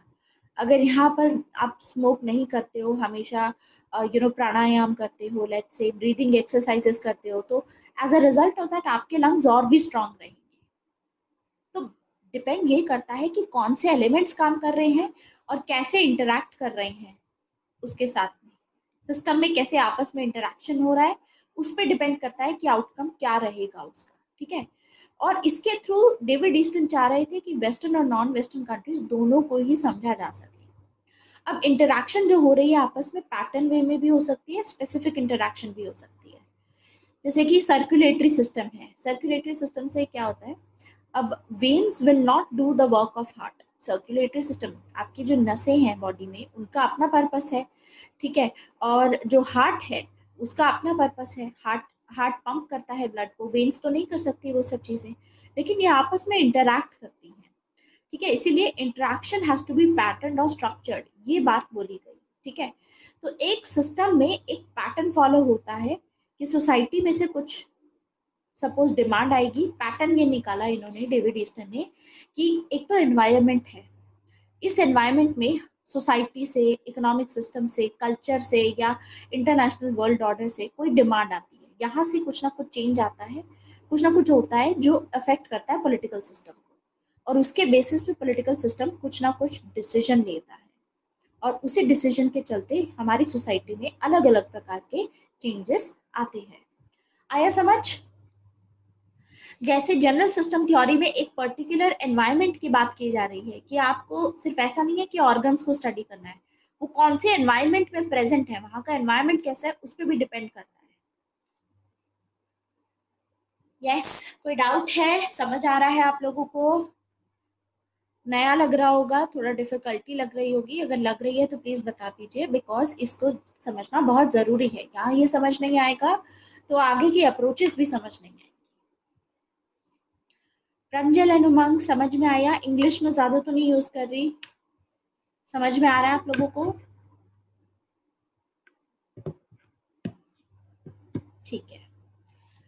तो इस तरीके से एक इन्होंने बताया डेविड ईस्टन ने, कि एक ऐसे एनवायरनमेंट होता है। ठीक है, एक सिस्टम होगा। सिस्टम में बहुत सारे सिस्टम्स होते हैं। ठीक है अलग अलग जैसे सोसाइटी वाला सोशल सिस्टम हो गया। ऐसे ही इकोनॉमिक से रिलेटेड पैसे से रिलेटेड इकोनॉमिक सिस्टम है। कल्चरल सिस्टम है। अब जैसे इकोनॉमिक सिस्टम है।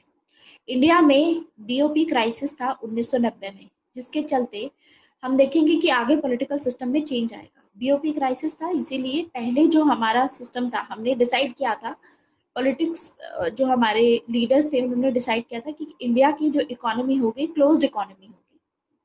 क्योंकि ये लोग सेल्फ सफिशिएंसी चाहते थे। लेकिन जब इकोनॉमिक सिस्टम में चेंज आया तो यहाँ पर क्राइसिस की प्रॉब्लम आई तो उसके चलते पॉलिटिकल सिस्टम ने ये डिसीज़न लिया कि हमको अपनी इकोनॉमी को ओपन करना पड़ेगा। और वो क्यों? क्योंकि आईएमएफ ने ये बोला कि जब तक आप अपनी इकोनॉमी को ओपन नहीं करोगे, जैसा हम बोल रहे हैं एलपीजी रिफॉर्म्स नहीं लेकर के आओगे, तब तक आपकी इकोनॉमी सही से काम नहीं कर पाएगी। तो यानी कुछ ऐसे एलिमेंट्स होते हैं, कुछ फैक्टर्स होते हैं हमारे एनवायरनमेंट में, उसमें कुछ ना कुछ चेंजेस आते रहते हैं, वहाँ से डिमांड जनरेट होती है कि ये चीज़ करने की ज़रूरत है, कि ये चीज़ गलत हो रही है या इसमें इम्प्रूवमेंट लाने की ज़रूरत है। As a result of which आगे पोलिटिकल सिस्टम इस पूरी चीज़ को प्रोसेस करेगा। प्रोसेस करने के बाद में एक आउटपुट देगा, कोई डिसीज़न निकालेगा। और हम देखेंगे कि बहुत सारे सिस्टम हैं यहाँ पर। इंटरडिसिप्लिनरी बोला ना मैंने इसको। इंटर डिसिप्लिनरी इंटरडिसिप्लिन का मतलब होता है कि अलग अलग डिसिप्लिन है। देखो सोशियोलॉजी आ गई, यहाँ इकोनॉमी आ गई कल्चर आ गया ठीक है, यहाँ पे इंटरनेशनल आ गया। तो हम क्या देखते हैं कि पहले तो सिर्फ़ हम पॉलिटिक्स से कंसर्न थे। कंपैरेटिव पॉलिटिक्स में अब सिस्टम अप्रोच में हम सभी अलग अलग डिसिप्लिन से के साथ में रिलेट करके पॉलिटिकल सिस्टम को स्टडी करने की कोशिश कर रहे हैं। ऐसा क्यों किया हमने? क्योंकि जब तक हम पॉलिटिक्स पे कंसर्न कर रहे थे, हम बाकी सब चीज़ों को नहीं देख पाए, जिसके चलते आगे वर्ल्ड वॉर्स हुई। आगे चल के वर्ल्ड वॉर होंगी इकोनॉमिक सिस्टम कल्चर के चलते उसी चीज़ की वजह से ऐसा ज़रूर होगा कि ये फंस जाएँगे और ये फिर वर्ल्ड वॉर का पार्ट बन जाएँगे। और अब हमको मेक श्योर करना है कि जो भी कंट्री है, वो वर्ल्ड वॉर में फंसे ना। वर्ल्ड वॉर ना हो, आपस में वॉर्स ही ना हो, उसको अवॉइड करने के लिए इन सभी चीज़ों को स्टडी करने की ज़रूरत है।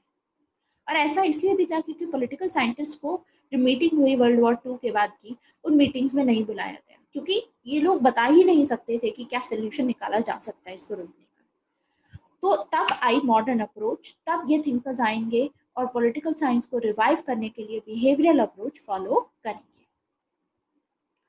तो ये जो सिस्टम है, इन्होंने बताया डेविड ईस्टन ने कि सिस्टम का एक एनवायरमेंट होता है। सिस्टम का एक एनवायरमेंट होता है, एक बाउंड्री होती है, जिस बाउंड्री में वो सिस्टम काम करता है। और बाउंड्री उस सिस्टम की लिमिट को बताती है। बाउंड्री यानी लिमिट है उसकी। ये एक लिमिट है, इसके बाहर और कोई फैक्टर इसको इम्पैक्ट नहीं कर सकता। इसको असर नहीं डाल सकता इस चीज़ पे। तो एनवायरमेंट में बहुत सारे सब सिस्टम्स हैं। जैसे ये हो गया सब सिस्टम्स हैं ये सारे। सब सिस्टम्स हैं जो आपस में एक दूसरे से इन्फ्लुएंस होते हैं। दूसरों को भी इन्फ्लुएंस करते हैं और खुद भी इन्फ्लुएंस होते हैं। ऐसे सब सिस्टम्स होते हैं। तो यानी अगर क्वेश्चन आता है कि डेविड ईस्टन की सिस्टम अप्रोच आप डिस्कस कीजिए विद इट्स लिमिटेशन तो सबसे पहले आप बताएँगे सिस्टम अप्रोच किस चीज़ से इन्फ्लुएंस दी डेविड ईस्टन ने दी। एंड इसमें you know he got impressed by this Talcott Parson जिन्होंने सोशियोलॉजी में अपनाई थी। एंड फिर आप बताओगे कि इसमें एक बाउंड्री होती है, इसमें एक एनवायरनमेंट होता है। बाउंड्री क्या होती है? लिमिट होती है। इसके बाहर कोई इम्पैक्ट नहीं कर सकता और कोई फैक्टर लेकिन हम देखेंगे कि देखो, इतने सारे सिस्टम है। पॉलिटिकल सिस्टम है social system economic system cultural लेकिन फिर भी आप ध्यान दोगे तो सेंटर में कौन सा सिस्टम है? पॉलिटिकल सिस्टम सेंटर में सेंटर में पॉलिटिकल सिस्टम क्यों है? It is separated from other system political system is separated क्यों सेंटर में है ये? बिकॉज़ एक यूनिक फ़ंक्शन परफॉर्म करता है यूनिक फ़ंक्शन क्या है? यूनिक फ़ंक्शन है इसका कि इसके पास में अथॉरिटी है। अगर इसने कोई रूल अप्लाई किया तो वो सभी पे लीगली बाइंडिंग होगा। ये जो अथॉरिटी है इसके पास में, जो भी डिसीज़न लेता है, वो दूसरों पे लीगली बाइंडिंग होती है। जैसे आज के टाइम पे अगर हमारा जो पॉलिटिकल सिस्टम है, सरकार कोई भी डिसीज़न लेती है कि आपको रात के नौ बजे के बाद बाहर नहीं जाना है तो वो लीगली बाइंडिंग होगा आप पे। अगर सोसाइटी कुछ बोलती है सोसाइटी में ये लीगली बाइंडिंग नहीं होता। सोसाइटी में तो ये भी बोलते हैं कि इंटरकास्ट मैरिजेस नहीं करनी चाहिए। लेकिन पॉलिटिकल सिस्टम ने तो कर रखा है ना अलाउ कि इंटरकास्ट मैरिजेस अलाउ की जा सकती है है ना? इन्होंने कर रखा है, इसलिए हो भी रही है। इकोनॉमिक सिस्टम का अपना है। इकोनॉमिक सिस्टम क्या चाहता है? इकोनॉमी जो लोग चलाते हैं, उनका कहना है, वो मार्केट पे रखना चाहते हैं। क्योंकि वो नहीं चाहते कि पैसा निकल करके सरकार के पास जाए, उससे मिड डे मील स्कीम या ये सब चले। क्योंकि यही पैसा अगर इकोनॉमी में रहेगा तो इससे इकोनॉमिक ग्रोथ और होगी, गरीबी दूर हटेगी। इनके अकॉर्डिंग ये है। जो खप पंचायत होती हैं, कल्चर के हिसाब से देखोगे, जो खप पंचायत होती हैं, ये लोग कल्चर के हिसाब से अपना फॉलो करती हैं, अपना रूल चलाती हैं कि इंटरकास्ट मैरिजेस नहीं होनी चाहिए। लेकिन हम देखते हैं कि इनके कोई नहीं सुनता है। उसके बावजूद लोग इंटरकास्ट मैरिजेस करते हैं पॉलिटिकल सिस्टम की चलती है। तो ये एक यूनिक फ़ंक्शन है, इसीलिए सब सिस्टम्स तो हैं बहुत सारे, लेकिन इस पूरे सिस्टम देखो एक पूरा सिस्टम बता रही है मतलब ये एक मशीन बता रहे हैं कैसे काम करेगी उस मशीन के अलग अलग कंपोनेंट्स हैं। जैसे एक मशीन होती है मशीन के डिफरेंट डिफरेंट पार्ट्स होते हैं। तो आप एक एक करके एक एक पार्ट को समझो। जब उसको समझोगे तो उसको आपस में रिलेट करोगे। रिलेट करके आप पूरे को समझ पाओगे। तो सेम चीज़। जो पॉलिटिकल सिस्टम है, ये मेन है। इसके बिना पूरा सिस्टम काम नहीं करता है। जो हमारा पूरा सिस्टम है, जिसमें सब सिस्टम्स हैं, बिना पॉलिटिकल सिस्टम के काम नहीं हो पाएगा, ये सेंटर में रहेगा। इसका ये यूनिक फ़ंक्शन है। कि ये, इसके जो भी डिसीज़न होते हैं लीगली बाइंडिंग होते हैं। लोगों को वो फॉलो करने ही पड़ेंगे। ठीक है? तो ये है हमारा, ये डेविड ईस्टर ने ये पूरा जो आपको बनाना है ना, वो एक्चुअली में ये बनाना है, ये नहीं बनाना है। डायग्राम जो बनाना है, आपको ये बनाओगे आप। तो डेविड ईस्टर ने जो अपना सिस्टम अप्रोच दी है सिस्टम अप्रोच में it is an input output mechanism जिसमें ये इनपुट है और ये वाली साइड दिख रही है, ये आउटपुट है। इनपुट में आप डिमांड डालते हो और उसी डिमांड को सपोर्ट भी देते हो। जैसे आज के टाइम पे आपने डिमांड डाली मेटर्निटी बेनिफिट की, कि जो महिलाएँ हैं, उनको दो साल की मेटर्निटी पेड लीव दी जानी चाहिए। ठीक है? पेड लीव दी जानी चाहिए। So suppose this is the demand और बहुत सारे लोग इसको सपोर्ट भी कर रहे हैं। तो ये हो गया इनपुट आपने ये इनपुट डाला सरकार में पॉलिटिकल सिस्टम में इनपुट जाएगा। अब ये जो इनपुट आ रहा है, ये कहीं से भी आ सकता है। ये कहाँ से आएगा? सोशल सिस्टम से आएगा ये। कल्चर से आएगा, हो सकता है। या इकोनॉमिक से भी आ सकता है। हु नोस लेकिन पॉइंट इज़ इन सभी सब सिस्टम्स जो हैं, इन सभी सिस्टम से कुछ ना कुछ डिमांड आती है, जिसको पॉलिटिकल सिस्टम प्रोसेस करता है। मतलब वो सोचता है, उस पर विचार करता है कि क्या ये मुझे चीज़ करनी चाहिए कि नहीं करनी चाहिए? क्या ये सक्षम रहेगा हमारे लिए? हम इसको फॉलो कर भी सकते हैं कि नहीं कर सकते? अंडरस्टूड सो हम क्या देखेंगे कि एक होता है सोशल सिस्टम दूसरा होता है इकोनॉमिक सिस्टम कल्चरल सिस्टम यहाँ से कोई भी डिमांड आ सकती है। ये तो मेटर्निटी बेनिफिट की डिमांड थी। हो सकता है कि अभी मेटर्निटी की तो देखो छः महीने अलाउ की है। अब लोगों ने मतलब खुश हैं उससे। लोगों को ज़्यादा भी चाहिए, एक साल की, दो साल की चाहिए। लेट्स से दैट पेटर्निटी की नहीं है अभी। पेटर्निटी की आप देखोगे तो फादर को सिर्फ़ पंद्रह दिन की छुट्टी मिलती है अगर किसी के घर में बेबी पैदा होता है, ठीक है? If a baby is born तो फादर को सिर्फ़ पंद्रह दिन की छुट्टी मिलती है, दो हफ़्ते की मैक्सिमम वट इफ़ कि यहाँ से डिमांड आ रहा है और लोग इस चीज़ को सपोर्ट कर रहे हैं कि फादर्स को भी पेड लीव मिलनी चाहिए सिक्स मंथ की। क्योंकि बच्चे की यू नो ग्रोथ में, बच्चे के डेवलपमेंट में फादर का भी कनेक्शन होना चाहिए बच्चे के साथ में। ऐसा ना हो कि फादर सिर्फ़ ऑफ़िस में ही बिज़ी रह जाए। Understood as a result of which ये एक नई डिमांड जाएगी यहाँ पर। अब ऐसी इकोनॉमिक डिमांड भी जा सकती है। हो सकता है कि कुछ मर्चेंट्स हैं या कुछ ऐसे लोग हैं जो डिमांड करते हैं। जैसे कि अब आजकल सपोज़ गवर्नमेंट एम्प्लॉयज़ हैं, ठीक है? वो डिमांड कर सकते हैं कि यू नो डीए अभी रिसेंटली बढ़ाई है पाँच परसेंट हो सकता है कि उनकी डिमांड हो। कि सिक्सटी से एज रिटायरमेंट की सिक्सटी फाइव कर दी जाए।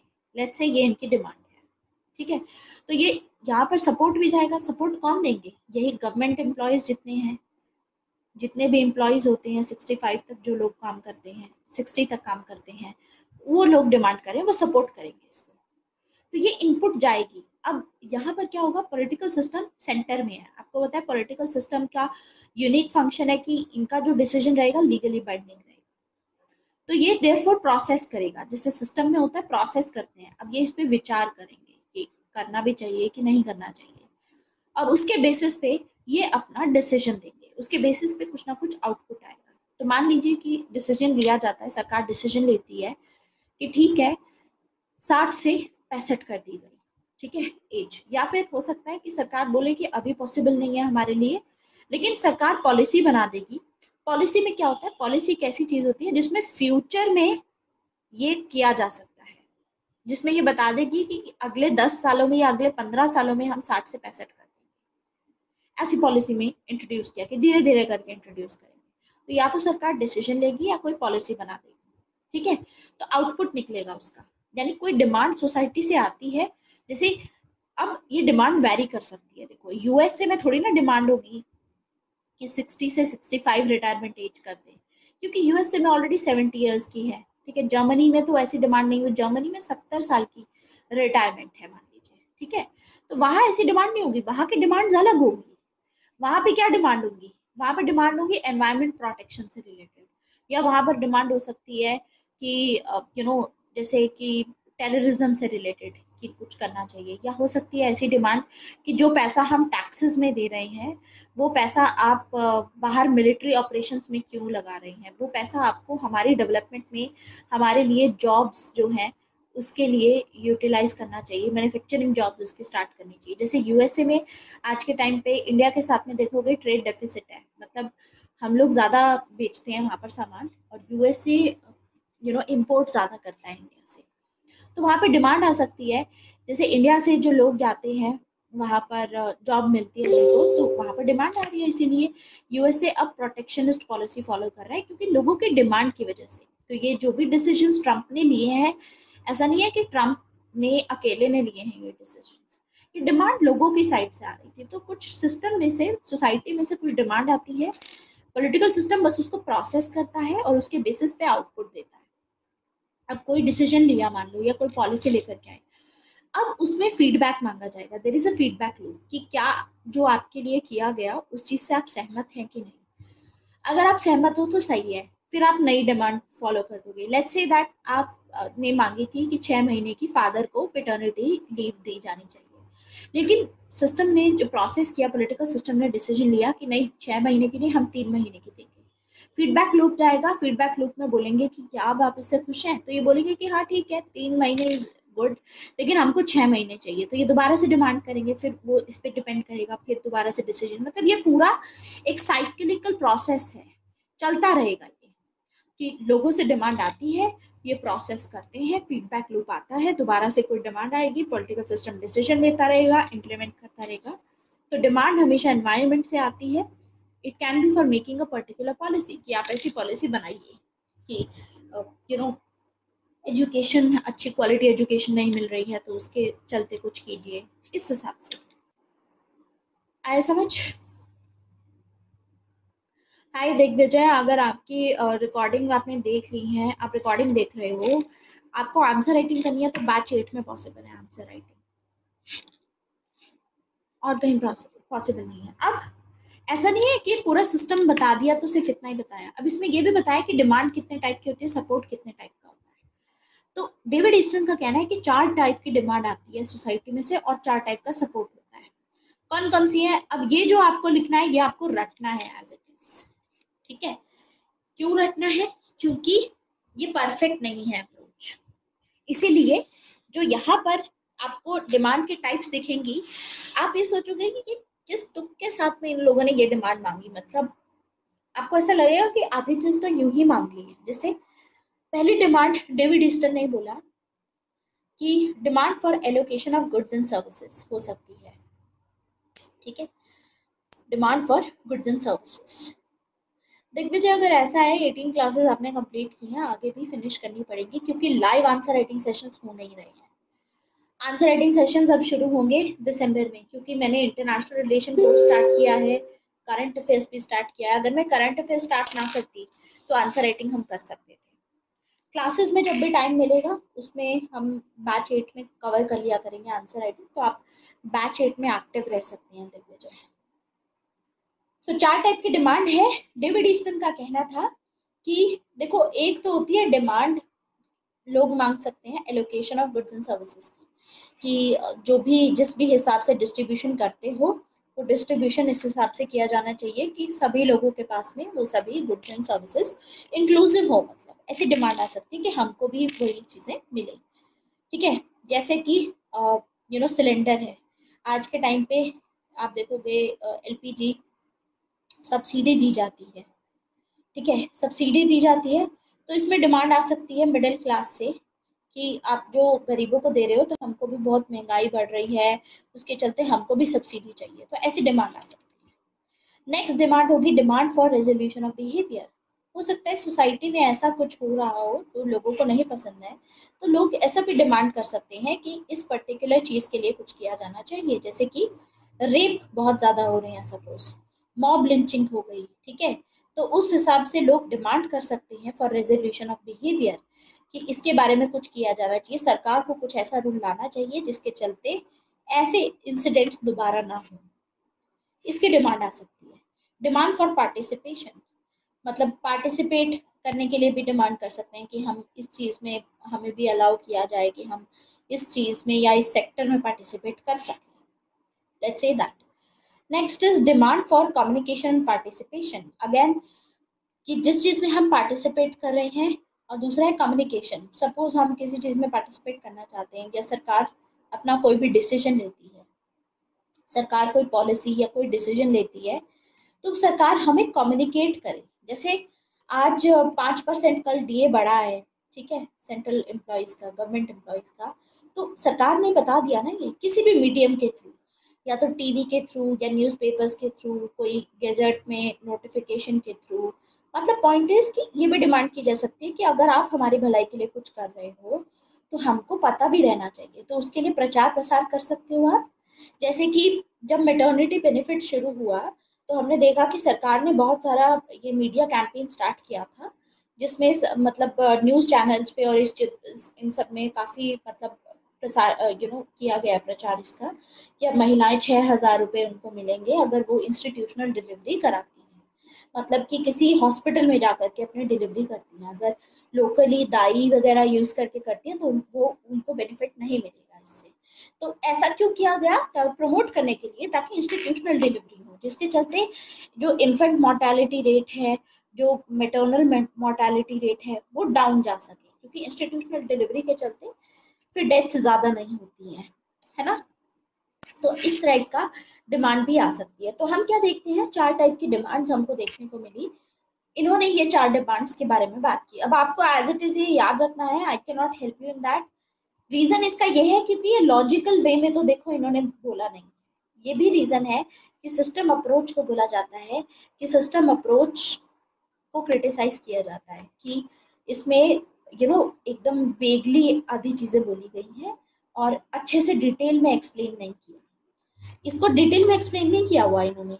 इन्होंने बस सीधा लिख दिया कि चार टाइप की डिमांड होती है। That's it it did not discuss it ये तो मैं आपको for the purpose of relate relation इसको दिखा करके किसी एग्ज़ाम्पल के साथ में समझा रही हूँ। अदरवाइज़ इन्होंने कुछ नहीं बताया। इन्होंने बस सीधा बोला, ये चार टाइप की डिमांड है और ये चार टाइप के सपोर्ट है। सपोर्ट कैसा दे सकते हैं लोग? मटेरियल सपोर्ट दे सकते हैं। ठीक है?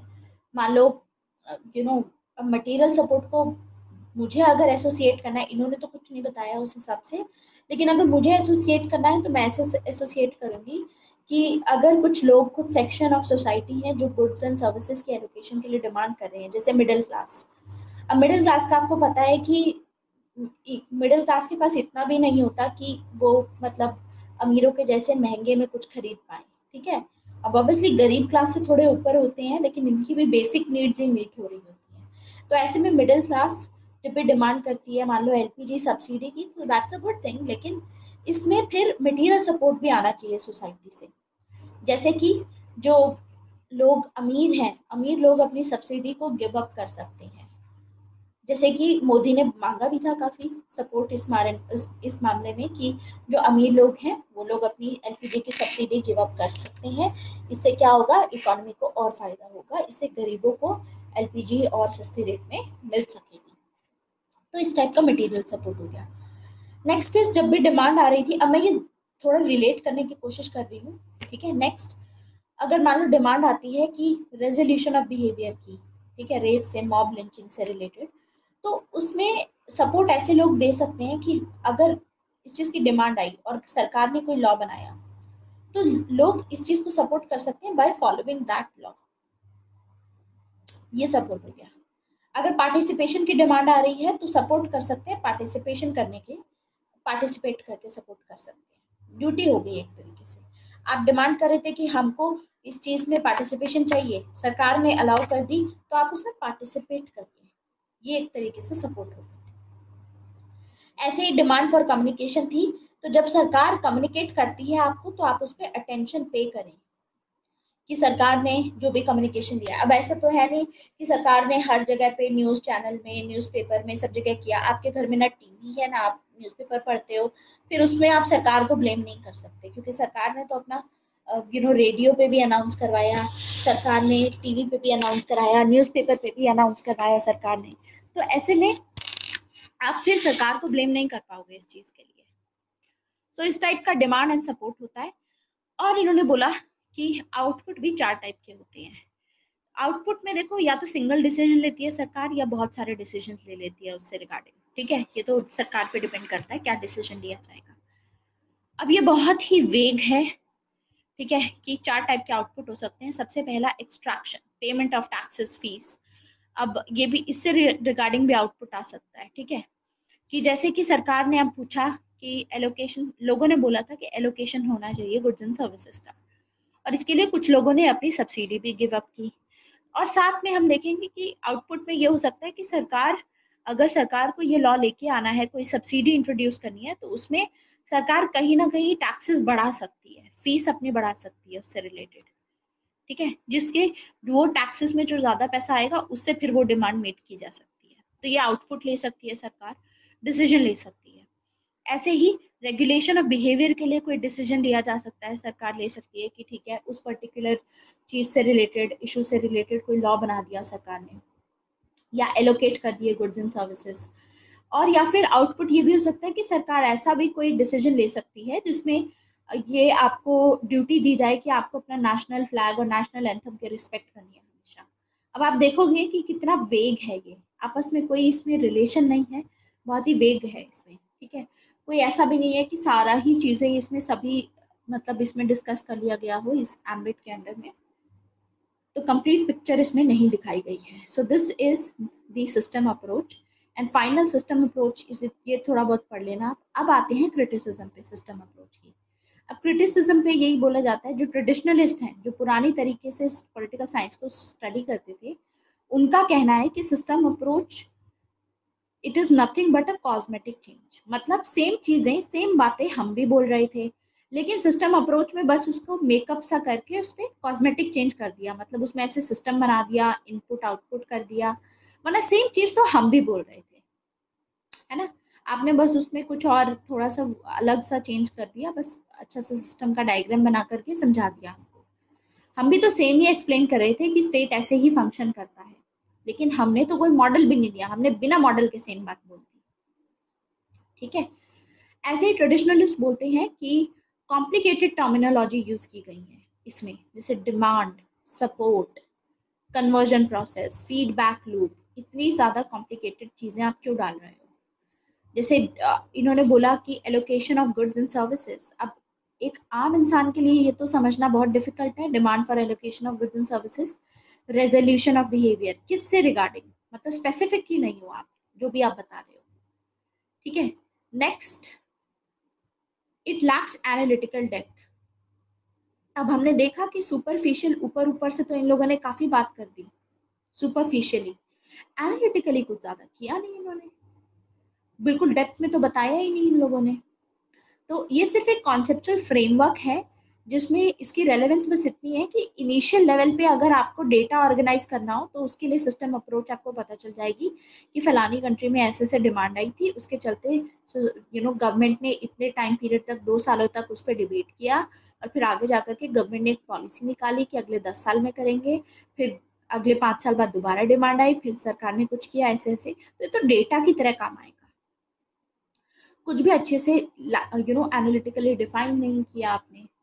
तो ट्रेडिशनलिस्ट इस तरीके से क्रिटिसाइज करते हैं इनको। फिर आते हैं मार्क्सिस्ट मार्क्सिस्ट कैसे क्रिटिसाइज करते हैं?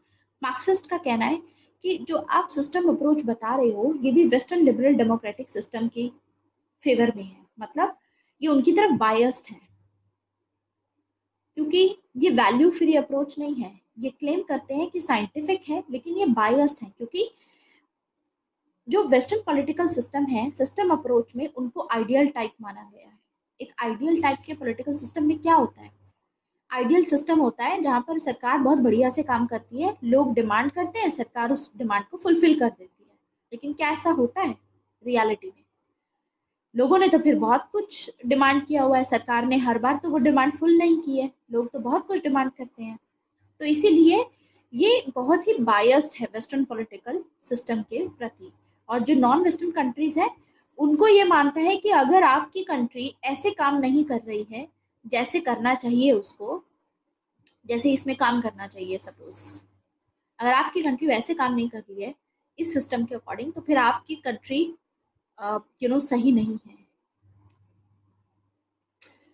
इट एक्सपेक्ट अदर सिस्टम आपकी कंट्री में जो भी सिस्टम है, उससे एक्सपेक्ट किया जाता है कि वो भी बिल्कुल वेस्टर्न कंट्री की तरह एक्ट करे। अदरवाइज़ आपका सिस्टम इम्परफेक्ट वेस्टर्न कंट्रीज़ को बोलते हैं कि आप, इनका सिस्टम परफेक्ट है और जो कंट्री ऐसा फॉलो नहीं करती, वो कंट्री इम्परफेक्ट है। दूसरा, मार्क्सिस्ट बोलते हैं कि ये जो डेविड ईस्टर ने अपना मॉडल दिया है, ये स्टेटस क्वेस्ट है। स्टेटस क्वेस्ट का मतलब ये ऐसे दर्शा रहा है, मान लो कि ये सब स्मूथ काम कर रहा है। अगर सब कुछ स्मूथ ही काम करता है ऐसे तो फिर सोसाइटी में वो क्यों होते हैं? सिविल वॉर क्यों होती है? अगर सब कुछ इतना ही स्मूथ है कि लोग डिमांड करते हैं और सरकार उसको फुलफिल करती है तो फिर ये प्रॉब्लम्स ही क्यों होती हैं ऐसे सोसाइटी में? प्रोटेस्ट क्यों करती है फिर जनता? सोशल मूवमेंट क्यों लेके आती है? रेवोल्यूशन क्यों आता है? आपने ऐसे फिनोमिना को तो एक्सप्लेन ही नहीं किया कि एक कंट्री में रेवोल्यूशन आने का रीज़न क्या है। अगर इतना ही काम करता है स्मूथ मैनर में कि फीडबुक फीडबैक लूप से कम्युनिकेट करते हैं लोग और पॉलिटिकल सिस्टम उसको वैसे ही रिस्पॉन्ड करता है, जो लोगों ने डिमांड की, वही चीज़ फुलफिल करती है। ये तो प्रैक्टिकल नहीं है। तो ये है इसका क्रिटिसिज्म सिस्टम अप्रोच का। बाकी यही है, और क्रिटिसिज्म में, ये तो टेक्निकल क्रिटिसिज्म हो गया। और कुछ अगर आपको लिखना है तो आप एक दो नाम यहाँ से लिख सकते हो। जैसे सर आप सोरजानो का नाम लिख सकते हो और बोल सकते हो कि he criticizes this that system approach is a borrowed approach. कि ये तो सोशोलॉजी में फॉलो की गई थी, या जनरल सिस्टम थ्योरी की थी, वहाँ से बोरो करके पॉलिटिकल साइंस में छाप दी। और इसमें भी नैरो व्यू लिया जाता है। पॉलिटिकल सिस्टम को सेंटर में रखा जाता है, क्योंकि उसके पास में अथॉरिटेटिव एलोकेशन है, सारी अथॉरिटी वही देते हैं। तो ये भी नैरो व्यू है एक। ऐसे ही इसमें क्यों पॉलिटिकल सिस्टम के पास में ही लीगली बाइंडिंग डिसीजंस लेने का वो है, वो रीजन नहीं बताया इसमें कि क्यों पॉलिटिकल सिस्टम ही ऐसा डिसीज़न ले सकता है जो दूसरों पे इम्प्लीमेंट किया जाएगा और सबको फॉलो करना पड़ेगा? ये भी एक्सप्लेन नहीं किया गया। बहुत सारी बातें जो लिखी गई, बहुत ही एम्बिगस लिखी गई हैं वेग बातें लिखी गई हैं, उसका आपस में कोई रिलेशन नहीं है। वेरिएबिलिटी बहुत ज़्यादा है। और जो सिस्टमैटिक परसिस्टेंस की बात करते हैं परसिस्टेंस मतलब कि स्मूथ मैनर में चल रहा है ये। ये भी तो फॉल्टी है, क्योंकि स्मूथ मैनर में कोई सिस्टम काम नहीं करता है। कुछ ना कुछ प्रॉब्लम्स तो आती ही हैं। और ऐसे बताया हुआ ये सिस्टम जैसे ऑटोमेटिक तरीके से काम करता है। इसमें इंडिविजुअल का रोल तो बताया ही कि एक इंसान का क्या रोल होता है पॉलिटिकल सिस्टम में। और दूसरा कि इससे हम वेस्टर्न कंट्रीज़ को समझ सकते हैं, लेकिन डेवलपिंग कंट्रीज़ के पॉलिटिकल सिस्टम को समझना मुश्किल रहेगा इससे। इसमें स्मूथ परसिस्टेंस एकदम मतलब कि सब कुछ बढ़िया है इक्विलिबीरियम मेंटेन्ड है इक्विलिबीरियम मैनर में बैलेंस मैनर में ऐसे ही बताया गया है कि सब कुछ बढ़िया बढ़िया चल रहा है, जबकि प्रॉब्लम्स भी तो आती हैं। कन्वर्जन कैसे होता है? जो डिमांड आती है सोसाइटी से तो पॉलिटिकल सिस्टम उसको कैसे कन्वर्ट करता है वो नहीं एक्सप्लेन किया इसमें कन्वर्जन प्रोसेस को डिटेल में नहीं बताया कि सरकार कोई डिसीज़न लेती है तो किस बेसिस पे लेती है? क्या क्या फैक्टर्स को ध्यान में रख करके वो डिसीज़न लिया जाता है? ऐसे ही इसमें हम देखेंगे कि सोशल चेंज और पॉलिटिकल डेवलपमेंट को लेकर के कोई स्टडी नहीं की गई है। कि चेंज कैसे आएगा? इन सब चीज़ों को नहीं हाईलाइट किया गया। तो यह है सिस्टम अप्रोच के बारे में। ये पढ़ लेना। अब आता है नेक्स्ट स्ट्रक्चरल फंक्शनल अप्रोच काफ़ी सिमिलर है सिस्टम अप्रोच के, लेकिन एक बार सिस्टम अप्रोच समझ आ गया, इसको पढ़ के आना तो आपको स्ट्रक्चरल फ़ंक्शन भी समझ में आ जाएगा ठीक है? तो आज के लिए इतना ही है कंपैरेटिव पॉलिटिक्स का। समझ में आया आप लोगों को आज का टॉपिक अभी क्योंकि डिफरेंट कॉन्टेक्स्ट में बात कर रहे हैं, लेकिन काफ़ी कोशिश की है मैंने कि आपको अच्छे से समझ में आ जाए। पढ़ के आइएगा इसको। बाकी कल हमारी दोबारा क्लास है डाउट क्लियरिंग सेशन है तो उसमें आगे हम राइट्स ह्यूमन राइट्स फिनिश करेंगे और इक्वालिटी शुरू करेंगे। एट्थ बैच में क्लास नहीं होगी, मैं आपकी क्लास एंड करने के बाद में क्लास रीशेड्यूल कर रही हूँ संडे के लिए। This is it for today thank you very much bye